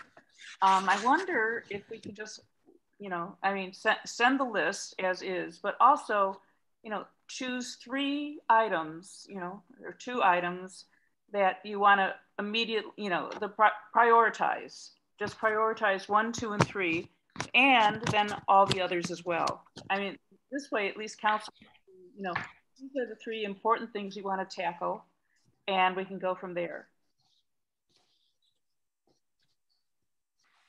Okay, I'm looking, I'm looking at the, I got my, my report here.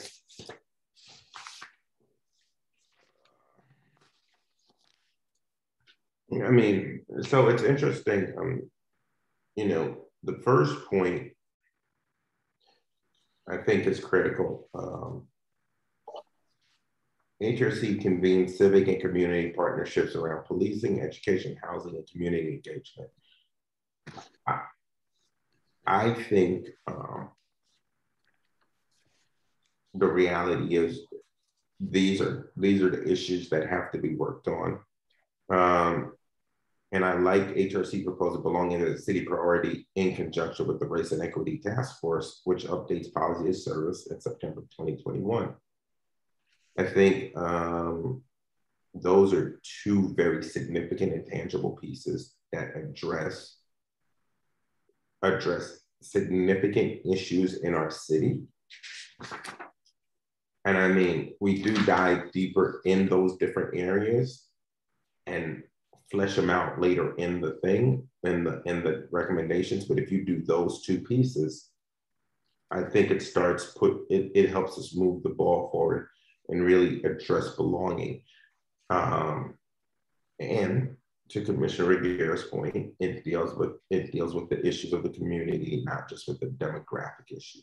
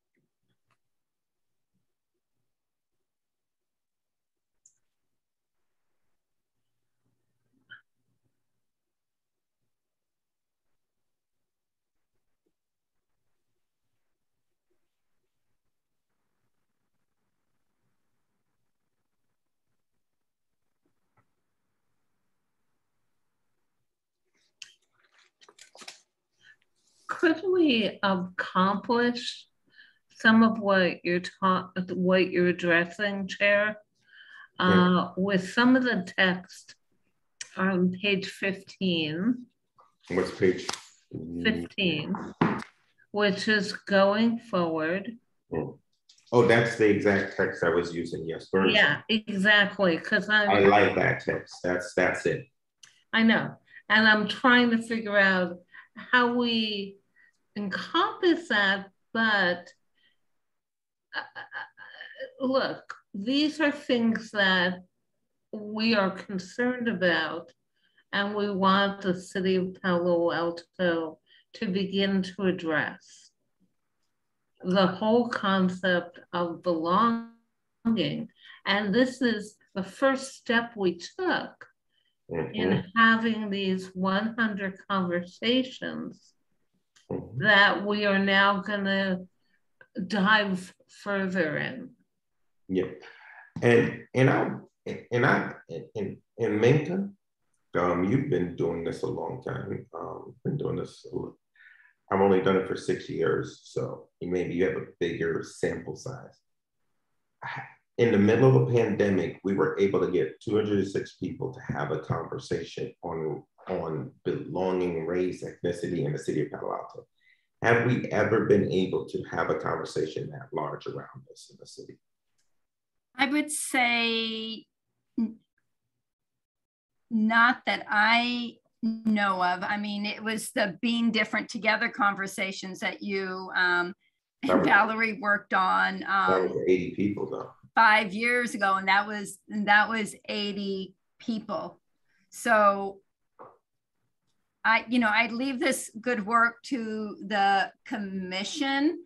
I I kind of like where um, Commissioner Kraus and Commissioner um, Chair Smith are going is that is there a, a feeling of comfort of just that first statement that has some very broad categories and that also respects the feelings of um, Commissioner Regehr and saying, mm. okay, you know, can can you you know, accept those four areas. And then what you actually do is next steps that takes into account what you have heard from um, the community mm-hmm. and looks into the, the capacity of the commission mm-hmm. as well.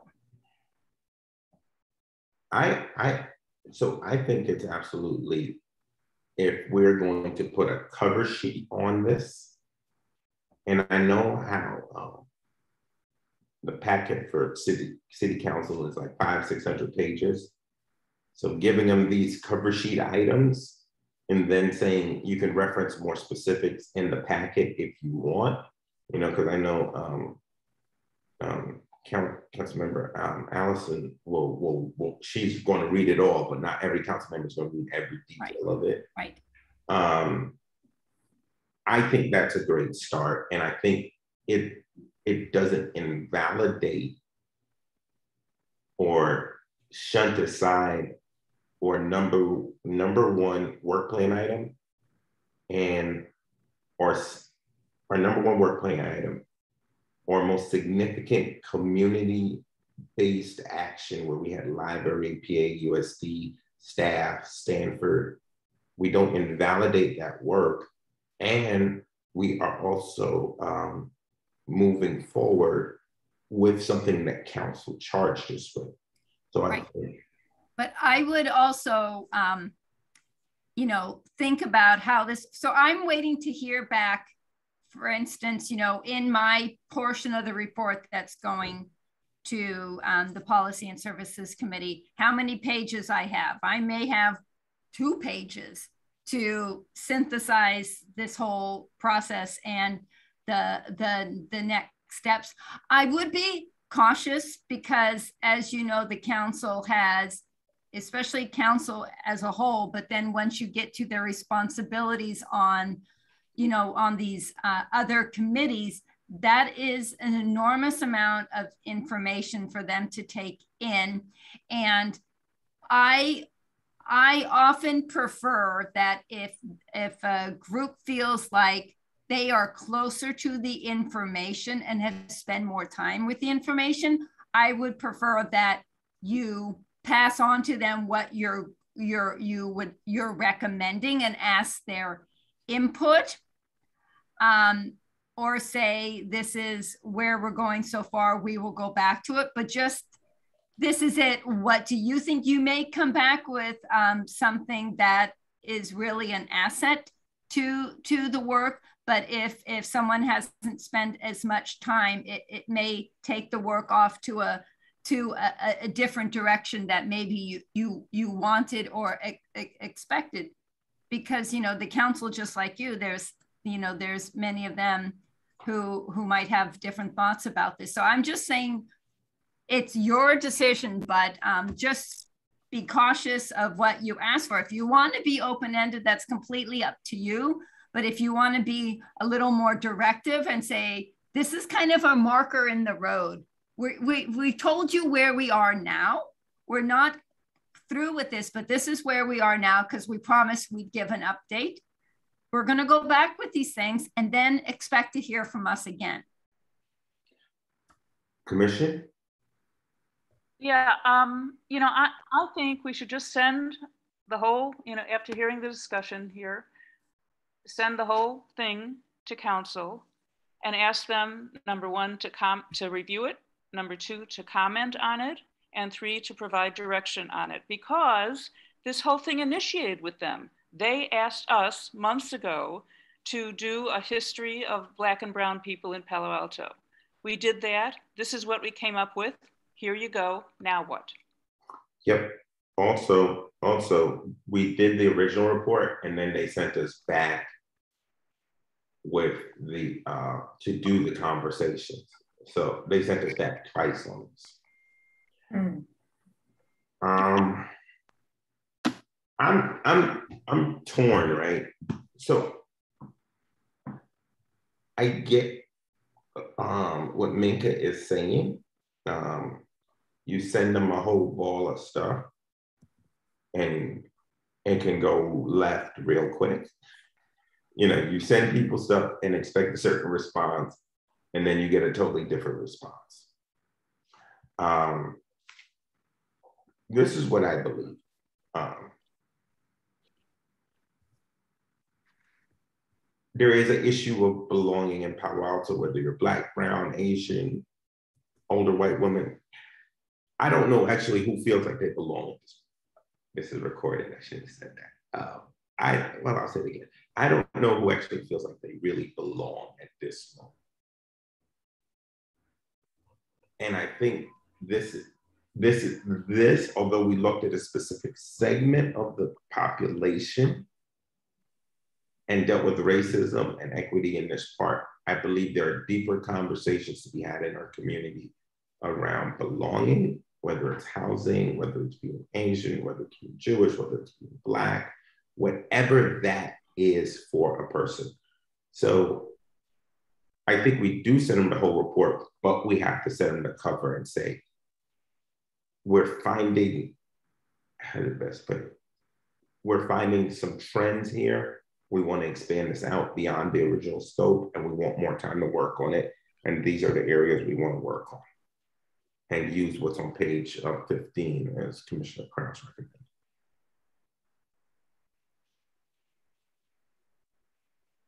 Yes, Commissioner, again. I once again want to reiterate that we have a work plan. And, and I think, and I know that belonging is on it. And this is item number, this is item number one on the work plan. Right but I don't think, I think that we should just, so we don't have to reiterate that we're, this is belonging. I think that, that it opens up a can of worms when we send this and we're asking them again to comment. I mean, I think commenting, I, I think we should just send it without a cover. I mean, just, they asked for this, just send it. Um, because we have belonging on it and that's our job to figure out how to get people to belong. We can get people to belong, which is on the next item uh, three, which is what Michelle and I were going to talk about housing, about how to get people to feel belonging, you know, and I think our work plan can get people to feel how to belong. and I think that that's what we should. I mean, I, I mean, I don't want to waste any more time because I think I, is, I, don't know how we could walk away from, from a report that says that that the majority of people were white women and one of the significant findings, according to the main researcher, was that a lot of them didn't even know what systemic racism was. I don't, you see, that's, I, don't, I don't care about a house. I care about my humanity. And if half the people don't understand what systemic racism is, no matter what house you put me in, I still don't belong. I understand what you're saying, and I totally agree with you. and I think we're just going around in circles. I think the, it, I, I think we should go with, I, I would make a motion like Daryl, just send it and. Um, if that's the motion, I'll, I'll. I mean, I, I, just, it opens up a can of, I don't think that we should take a small study and have that be our direction for the future. I think we have a work plan and we could use it at the retreat and go from there. Okay. And do more. I will take it. Mary? Now, maybe you can go to screen, Commissioner, Commissioner um, Savage, if you can make your motion. Well, that's actually, my motion was Commissioner Savage's motion. Can we get a second on the motion? Um, I'd, I'd like to add, um, you know, the words to review, to comment, and to come back to us and provide direction.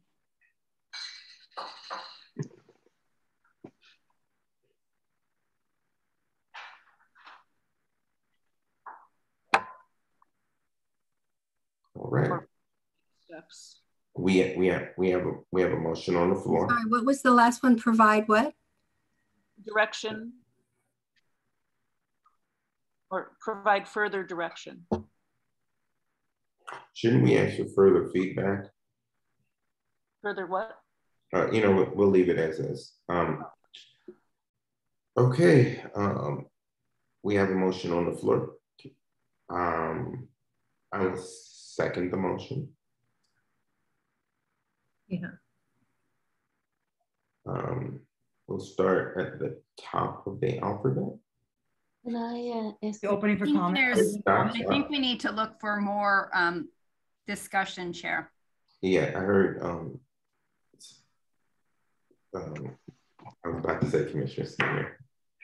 Valerie, can you please comment? Yeah, I have a really picky question. Um, would I still, I saw a couple pages where there were some typos and I'd like to be able to correct those.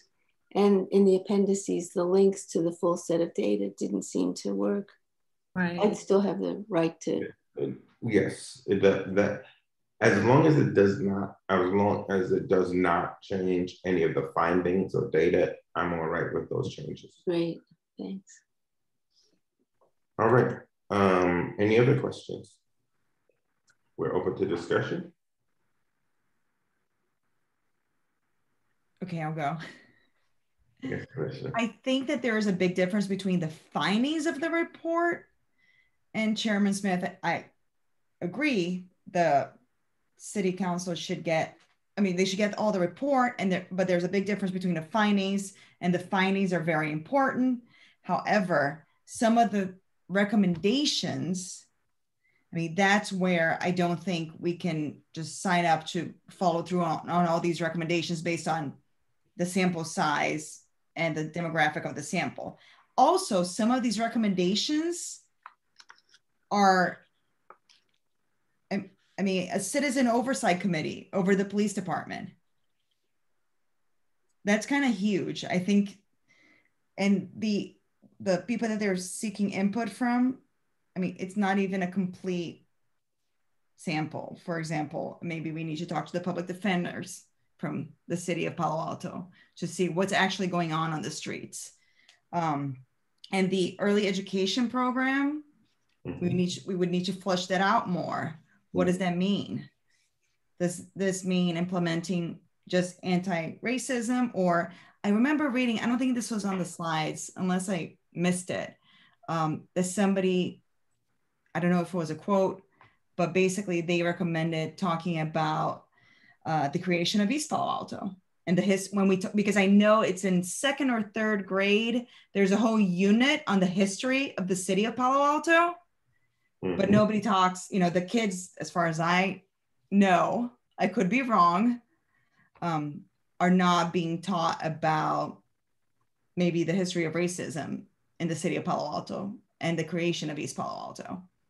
Now mm-hmm. that's something that um, it's a smaller piece of what they're saying versus just consider an early education program where I don't know where we're going with that. Um, but it's, I think that's the small but not small piece that we could actually implement and talk to PAUSD about. Does, do I make sense? You, I, I so yeah. this is this. I hear you, and I think to go back to what Commissioner Kraus had said earlier, where I was going with it earlier. I think there needs to be some. Um, there needs to be like a global statement saying this summer findings, and we need to do some more work on this and do maybe some feasibility stuff because I agree with you. You know, great suggestion to do all of redo all of education, but you know we will sit with um, Lana and the rest of the team at PAUSD and what they might say. You know, your suggestion might be the suggestion that makes it work. I think I I feel like the recommendations are great, but very much like PTC. Actually, how do we think of this? We dealt with this earlier. PTC in all their recommendations basically said, ask the council, this is what we have found. Can we go back and, and do more work on this and look at feasibilities and priorities and orders based on the initial research? Because that's what we, that's basically what we did with the rental, the rental stuff.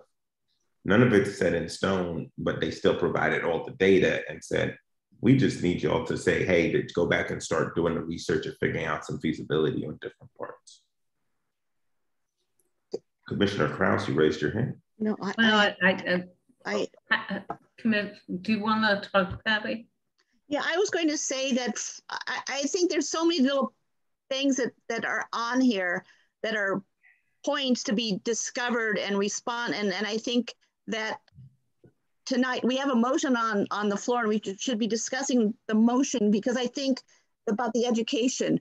One thing that came out of this is that some teachers are are um, were um, assigned to look into racism and put it into the the, the curriculum, and I referred them to um, Valerie Valerie when she was a commissioner. I mean, people are um, are are discussing that. And I don't think we should pin, I don't think we should go right now into the dynamics of each of the um, suggestions. I'm, no, no, I'm, I'm, i was going with a global recommendation. Yeah, I mean, I, and I and I think even those discussions. I mean, you're talking about systemic racism. This is a long discussion, and I think that, again, I think that we should discuss it at the retreat because we and and or or when we have like we have we have things that are on the agenda that can include getting people to belong. I mean, that's always part of the saying that I think that our work plan right now addresses all of those issues. So I mean, I don't know one that doesn't. Um, so I, I, I, I will, I will say this. Um, in the last six months in Palo Alto, we had two two parks sprayed with derogatory language. We had a lawsuit against a Black Lives Matter sign. We had an Asian restaurant um, owner verbally assaulted. And these findings in this are starting to deal and dive with those with those challenges in our community which is very disturbing to a significant to, to at least my population.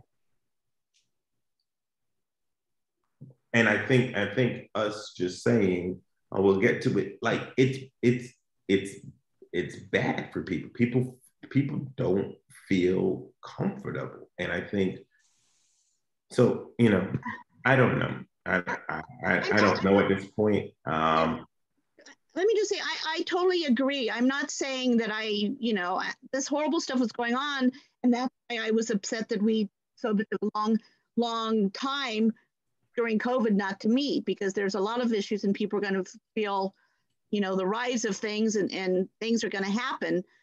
And I'm not happy with it. I mean, that's one of the reasons why I think we're all on the Human Relations Commission because we want to make our community more inclusive and, and belonging.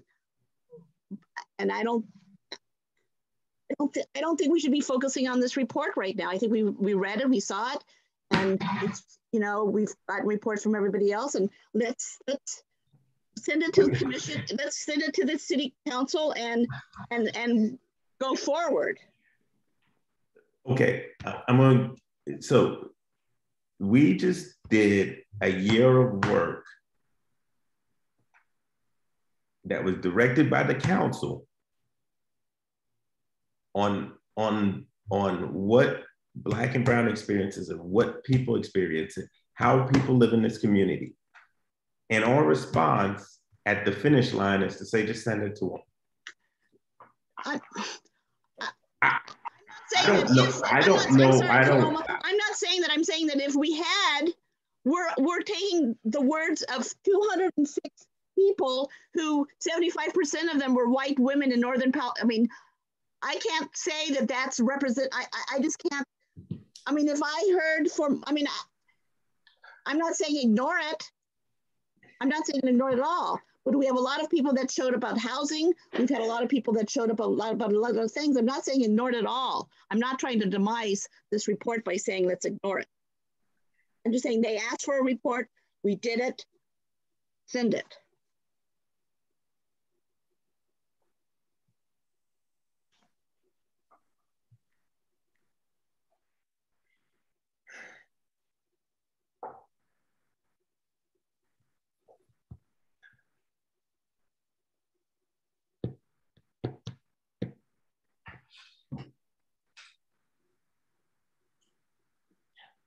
Valerie, you had your hand up. I do. I'd like to comment on, on two things. One, um, the sample size.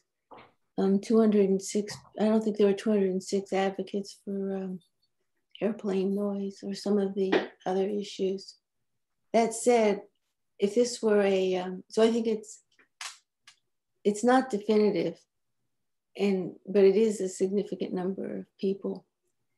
But um, more important to me is if this were a product development exercise, this was just to identify the questions, not to get to the answers.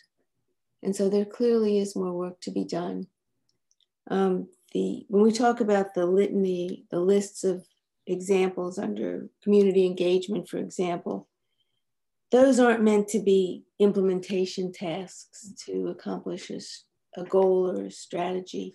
They were just to illustrate, to give an idea of what some of the people were thinking about and how it would be fleshed out. But those aren't answers, those are questions. Do we do this or do we do that? Um, they were to stimulate thought. The uh, recommendation is to form a consortium of civic and community organizations to tackle community um, I'm sorry, to convene the stakeholders in the private sector, the nonprofit, and the government section to start working on the four areas. I would I would like to um,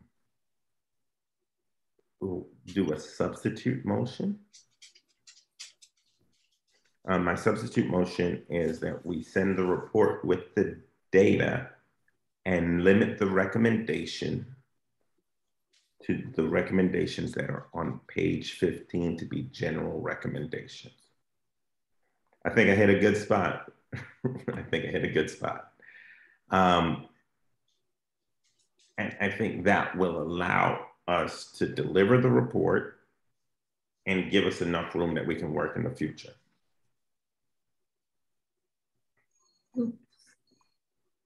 Because for as, as long as I'm on this commission, we're going to talk about this because we have populations in our city that that no matter how much they make or which tech company or which university they work at, they still feel marginalized and they live in really nice houses. Chair, I didn't, I must have, I have repeated words here, Send sorry. the report with the data and limit the recommendations to those on page 15 of the report under going forward. I didn't hear the last what. you did- Under going forward.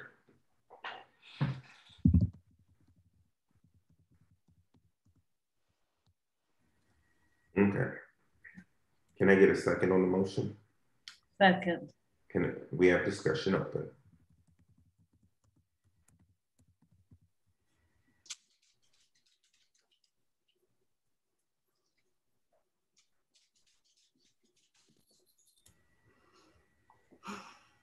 All right, well, let's run, let's run the ball.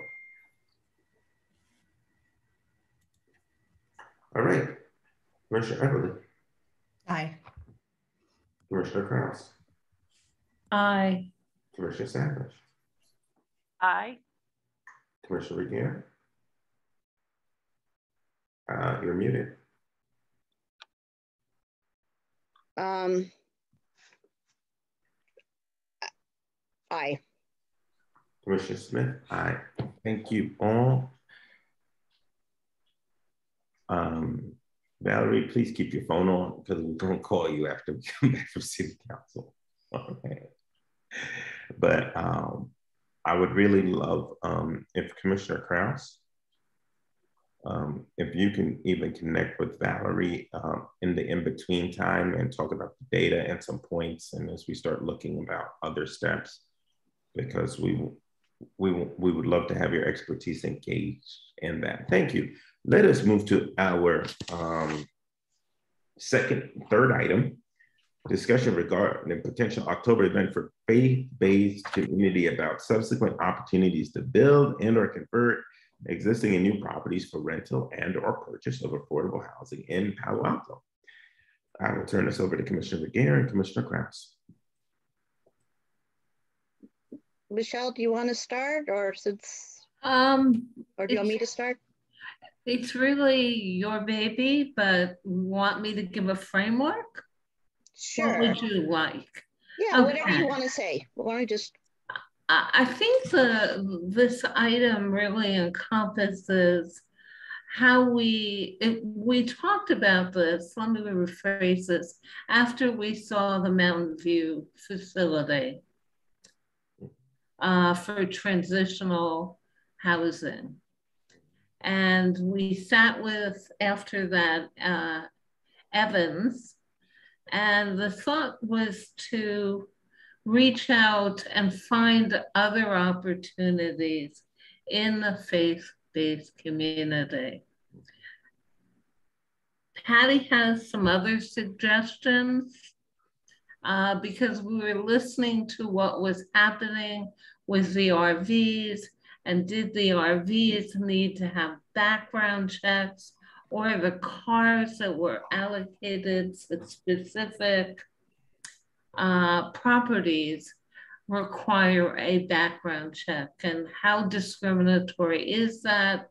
Does it cut people out that really need us uh, at a time that they have nowhere else to go?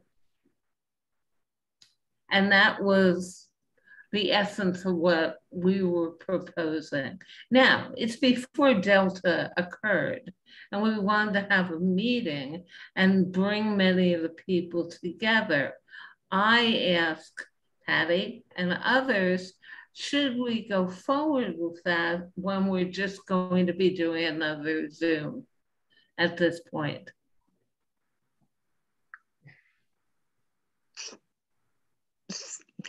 Great. Um, right, and for me, because Michelle um, came, Commissioner Michelle, you know, is new on the commission. So this housing started when I applied for um, HRC and I'd been a lot of time um, living in this community and talking to many, many people.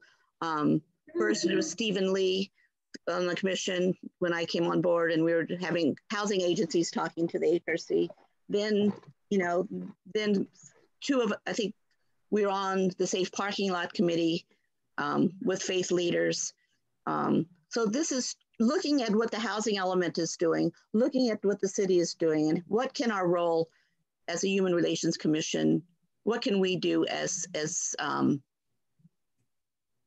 to help and also to um, facilitate something, a positive change. And I think um, not a change, but just, and so we talked with Angie Evans from, from Palo Alto Forward, and we talked, I, I talked to um, Move Mountain View. I, I went to see Pastor Bains. I, I, mean, this came from a lot of discussions with a lot of people and community members. Um, so I think that we, um, we, we, um,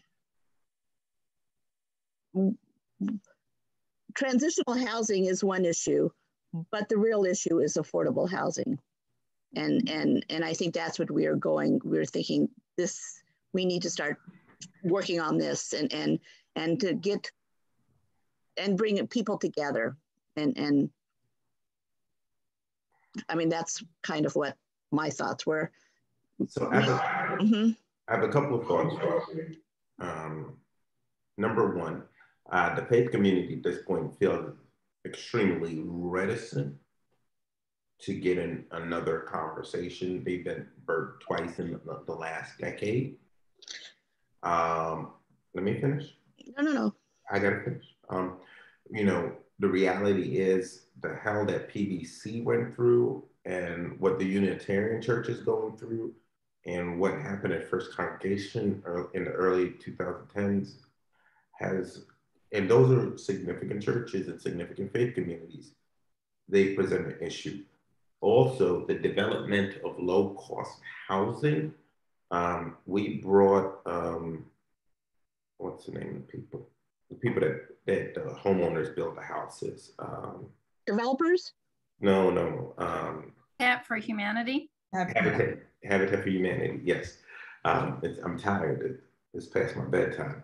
Um, Habitat for Humanity came and spoke to a lot of churches, including my church. And one of the significant challenge is the value of the land and developing on the land and doing low cost housing without asking the church to give up property at below market rate. And I know housing is very important, but when you start talking about buildings that are 75, uh, communities that are 75 or 100 years old, and people's mothers and grandmothers and people sacrificed to build that building and buy that land, it becomes very a very hard discussion as a faith leader to go to people and say, yes, I know that, for example, a two acre plot in Palo Alto was worth $12 million, but we're going to give it away for $2 million so we can build. And I know you've been giving tithes and offerings and supporting this organization and it's hard. I think in order to have the conversation, there would have to be some level of business model and figuring out of some of the more difficult questions before you bring it to faith leaders because right now they sat at the table with real good faith with the um, with the safe parking and and and you have faith institutions getting their name dragged through the newspaper no. right now. And so I, I totally agree. I mean, that's what Michelle and I were saying. I mean, we wanted a conversation, and this is this is this is kind of how I came around to Kaloma because I I I, I too feel that and it, it, that this conversation needs to be brought up. And I think not necessarily the faith leaders and the faith communities have been taking the brunt of it, and and and and and I and I and I I'm so so so I'm glad that you've said that because I've felt that. And the reason why this is on was to have a discussion so we could broaden it because I think we do need to discuss. Um, I, I could send you a ton of articles from the Washington Post, New York Times, a couple of different papers, because a lot of faith institutions have really looked into leveraging their property for, for other uses. The problem is, and I think this is where the research is going to have to come in, is how do you make it? I don't, because I don't think churches want to make money. They just want equi- equitable financial situation. Like the congregation, denomination, governing body, elder board can look with a clear conscience and go, we honored those that bought this property and maintained this property, and we're being helpful to the community. And I think, you know, San Jose has this program now. I hear anything else about it from pastors. They're like, the city wants us to give up our property so that we can build housing, you know. Um, they, nobody's taking them up on it. No, I know. And I mean, there are some, I mean, I, I, I totally, I totally, totally agree with you. Um, but I mean, as safe parkings, I mean, based, I, I, think, I mean, now it's late, but Michelle and I were hoping to have a discussion like this because um, originally we were thinking um, people that do do low income housing developers, which do like Eden and stuff, could come to the table and talk with um, faith leaders and other, you know, and community members and how we can get this done in a way that it's not detrimental to the to the neighborhood or detrimental financially to um, places of worship. Because I also heard that some places said if they're going to put four four cars in their parking lots, not enough. Yeah. I mean, I've heard that too. Like, like we're putting a lot of money into something, and it's only and taking a lot of grief and four is not enough. So I think this is more of an open. I know it's as an action item, um, but how do we get? Um, this is what I'm going to do for you. I'm going to um, find my contact at um, Habitat for Humanity. Have you talk with them about the economics of it and figure out what that looks like. And I'll connect you with a couple, I'll connect you with um, Pastor Bruce Reyes-Chow um, at First Presbyterian. He's the convener of one of the faith groups, and Rob Schultz, he's a convener of another mm-hmm. um, and let you have the dialogue and discussion with them and see where we end up. Because they probably should say this. Um, a lot of churches are facing challenges given the financial strain that COVID has done and given the rapid emptying of communities because a lot of I've heard numbers as high as 60% of some um, faith institutions, people have moved out of town once COVID happened. You know, so you have the conversation with the folks and let's see where we come up. But the one thing I will say is, I don't think faith leaders, they want a plan that they could plug into. They don't, they're not looking to have the dialogue should be about a plan. It can't be about the concept. Well, that that's the plan was to have these developers tell that that what they've done and how to do it. Um, but do we also, we're also we're also we're not hooked on this, Kaloma. I mean, I don't need to do a little bit more research because I, I you know we've we've talked to a lot of people. It was more of a suggestion how do we go forward in a way for affordable housing. I I think personally, I think the city should take um, um, we're, relying a lot on on places of worship and and and um, and I think the city's going towards a little bit more transitional housing time and a lot of money and efforts going into that, which is also important. But uh, we were we were trying to figure out how do we get the conversation and thinking process because if we have it on, we have to change the zoning laws for something when we have to work on that. I mean, it's not something that's it's just going to happen in October and you know, we could expand it. You know, we could expand affordable housing and just have a general conversation about affordable housing and how do we go about that. I, I you know, Mr. I don't know. Mika, maybe you could, because your Mika's really involved in this housing stuff. I mean, so this is the thing. I mean, a lot of the information I gave is anecdotal and it's also from two or three years ago. Um, so what I would suggest is this. Why don't you put together the meeting, figure out who the developer speakers are, I can share the resources I have, and let's see where we end up. Is, do you, I don't think, I don't think we need to do a vote on this because it's it's a meeting. Well, well, but it, it has to be it has to be in regards to a vote because we have been meeting with people, but we can't say we're representing HRC in these meetings. You know what I'm saying? It's like so we do have to have some kind of um I mean, I think if you say and and so I mean, what is that? So for example, I mean, we, we've been meeting, you know what I'm saying, is that that that So what are we asking the commission to do exactly? We're asking, are you asking the commission to sponsor an event and allow you guys to go recruit speakers? Is that the ask? that was the mo wasn't that what's on the agenda?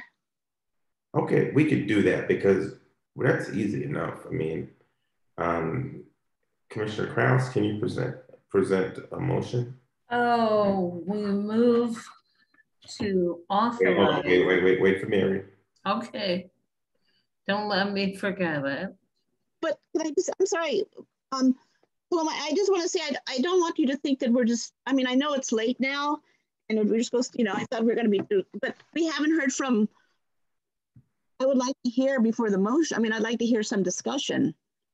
Because I'm not dead, I'm not dead set on doing this if everybody thinks, you know, what I mean, like I want it to be successful and I want to go forward in affordable housing and this is just one step. But if no one feels that it's, Um, do you, do you know what I'm saying? commi- commissioners,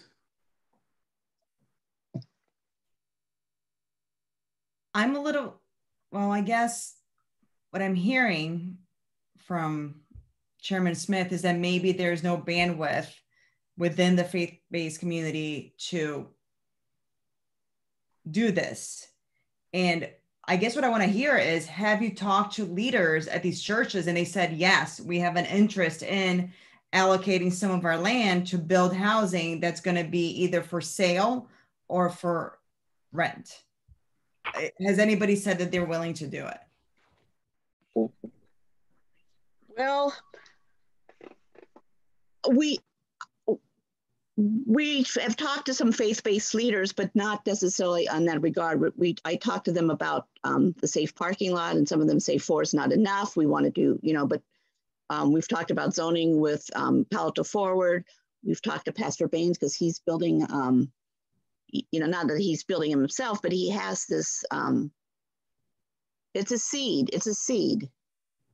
You know, when we started the start safe parking lot, I mean, there were some people that were on this committee about fellowship, but we, you know, it's just going and it's, you know, by one fellowship coming, one place of worship stepping up, you know, before safe parking lot, you know, they weren't all talking to all the faith-based organizations to see what the fly was on that one. I mean, safe parking, I think is very different than we're talking about a permanent structure. Right. No, it is. It is a um, it's a different discussion, but it's um, and I'm not even saying that this is what I think. I mean, I think personally, I think that um, that um, the city, like Mountain, I mean, Mountain View is stepping up a little bit differently than Palo Alto. Um, but Michelle, do you have anything else to say? I think to frame this for the commissioners and chair, I think that Commissioner Regehr has been working on this for a very long period of time. Uh, it is her passion for providing uh, more than transitional housing, but affordable housing. I think she has got resources and thoughts and wanted the support and authorization to go forward and have a meeting in October. And this is Commissioner Eberle, only the beginning for her. Um, I've come along because I'm I'm interested. You know, people should. It's a human right to have a place to lay your head that's safe, and I think that's all that Commissioner Regehr is looking for. And it's late, and we're all bloody tired. Uh, is a, a commitment of support is it of interest? Because nobody needs to make work, or is it not? And she'll begin what, what needs to be done to bring a group together in October or November. Hey, Michelle, wh why don't you go ahead and try to craft a, a motion? I'd like to see it in writing, and I think that would help all of us um, Okay. Uh, move to authorize Commissioner Regehr to uh, articulate and develop a plan for an affordable housing uh, conversation to begin uh, in the fall timeframe? Well, I don't, I don't. Does that get there? No, because I, I think that we already, I guess I, I was saying that's good, but because uh, we have been developing, I mean, I, you know, I started working with, with um, that's a part of our work plan on okay. housing. And so I think to say that I'm going to be, you know, and, and then I, I guess, uh, are you saying, Michelle, that you're not going to be part of this because? Oh, I'm, I'm undoubtedly can be part of this. I, I but... usually when we have, like we're going to have an event, it's not, it's not that, it's not going to be to research and, and you know, it's more like we're, we're going to have something and, you know, is HRC behind it or not? Is HRC going to sponsor it? Okay. Yeah, we are. So, so, so, so think, but this motion doesn't say that. Well, by us voting on the motion, then that is the body saying we support this. That that is the strongest statement we as a body can make to author to authorize somebody to use our name to create an event is the strongest thing that we yeah. can do. Yes, Minka? Oh, you just because you were off and then you came back on. I say something. No, I was just talking to my child a minute as who came in the room. So that's why. Okay. Um, is there any other discussion on this on this resolution? Or is there any friendly amendments? I'd, I'd like to change the word authorize to support. Um, I can't um, I can't recall HRC ever authorizing a commissioner to do anything. No. Uh, but you know, we're all here to support. Okay. Um, Commissioner Kraus, do you accept the friendly? I'm fine. And we're missing a few other words. What are the words that we're missing, Commissioner Kraus? Uh, for an affordable housing uh, event. Right. Okay. That is right. Uh, and then to begin, uh, um, erase. No, no, backwards. Thank you.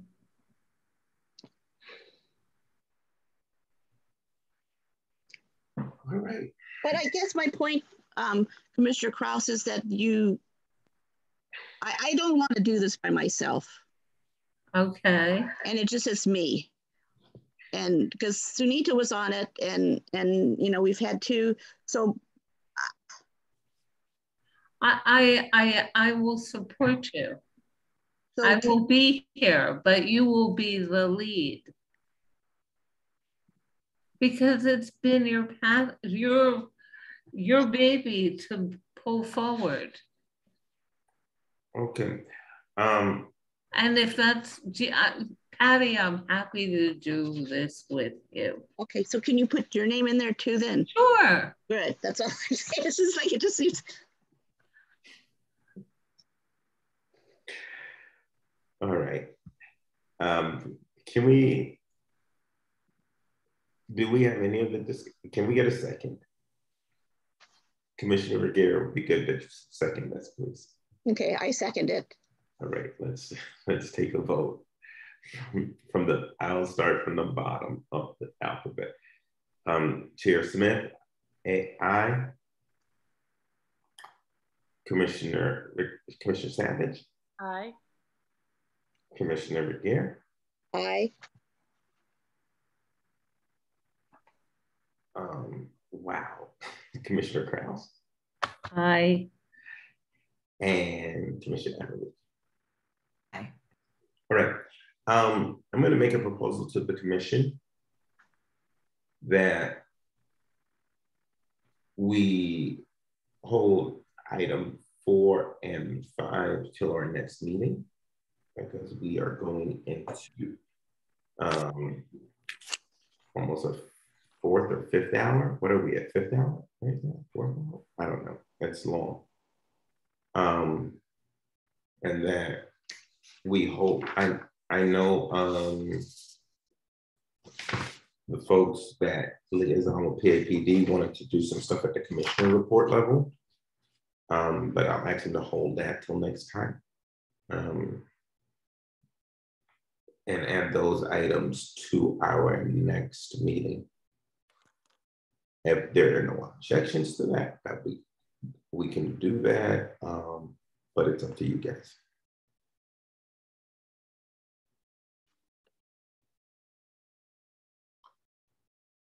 All right, I hear no objections. All right, um, um, I, I can call the meeting at this point. Everybody ready to go to bed, go home? Um, I want to thank you. Great work tonight. A lot of hard conversations. A lot. This is what we do. This is what we're supposed to do. Um, I'm really, really looking forward to uh, us wrapping up um, the renters protection next time. I'm also looking for us to really dive into HSRAP next time. And we will, after that time, look at our work plan. Um, I will also officially add the PAPD report as a item, not just as a commissioner report, and we'll go from there. All right. Everybody, thank you for your um, willingness and your diligence. We will talk to everybody later. Thank you. Thank you. Thank you.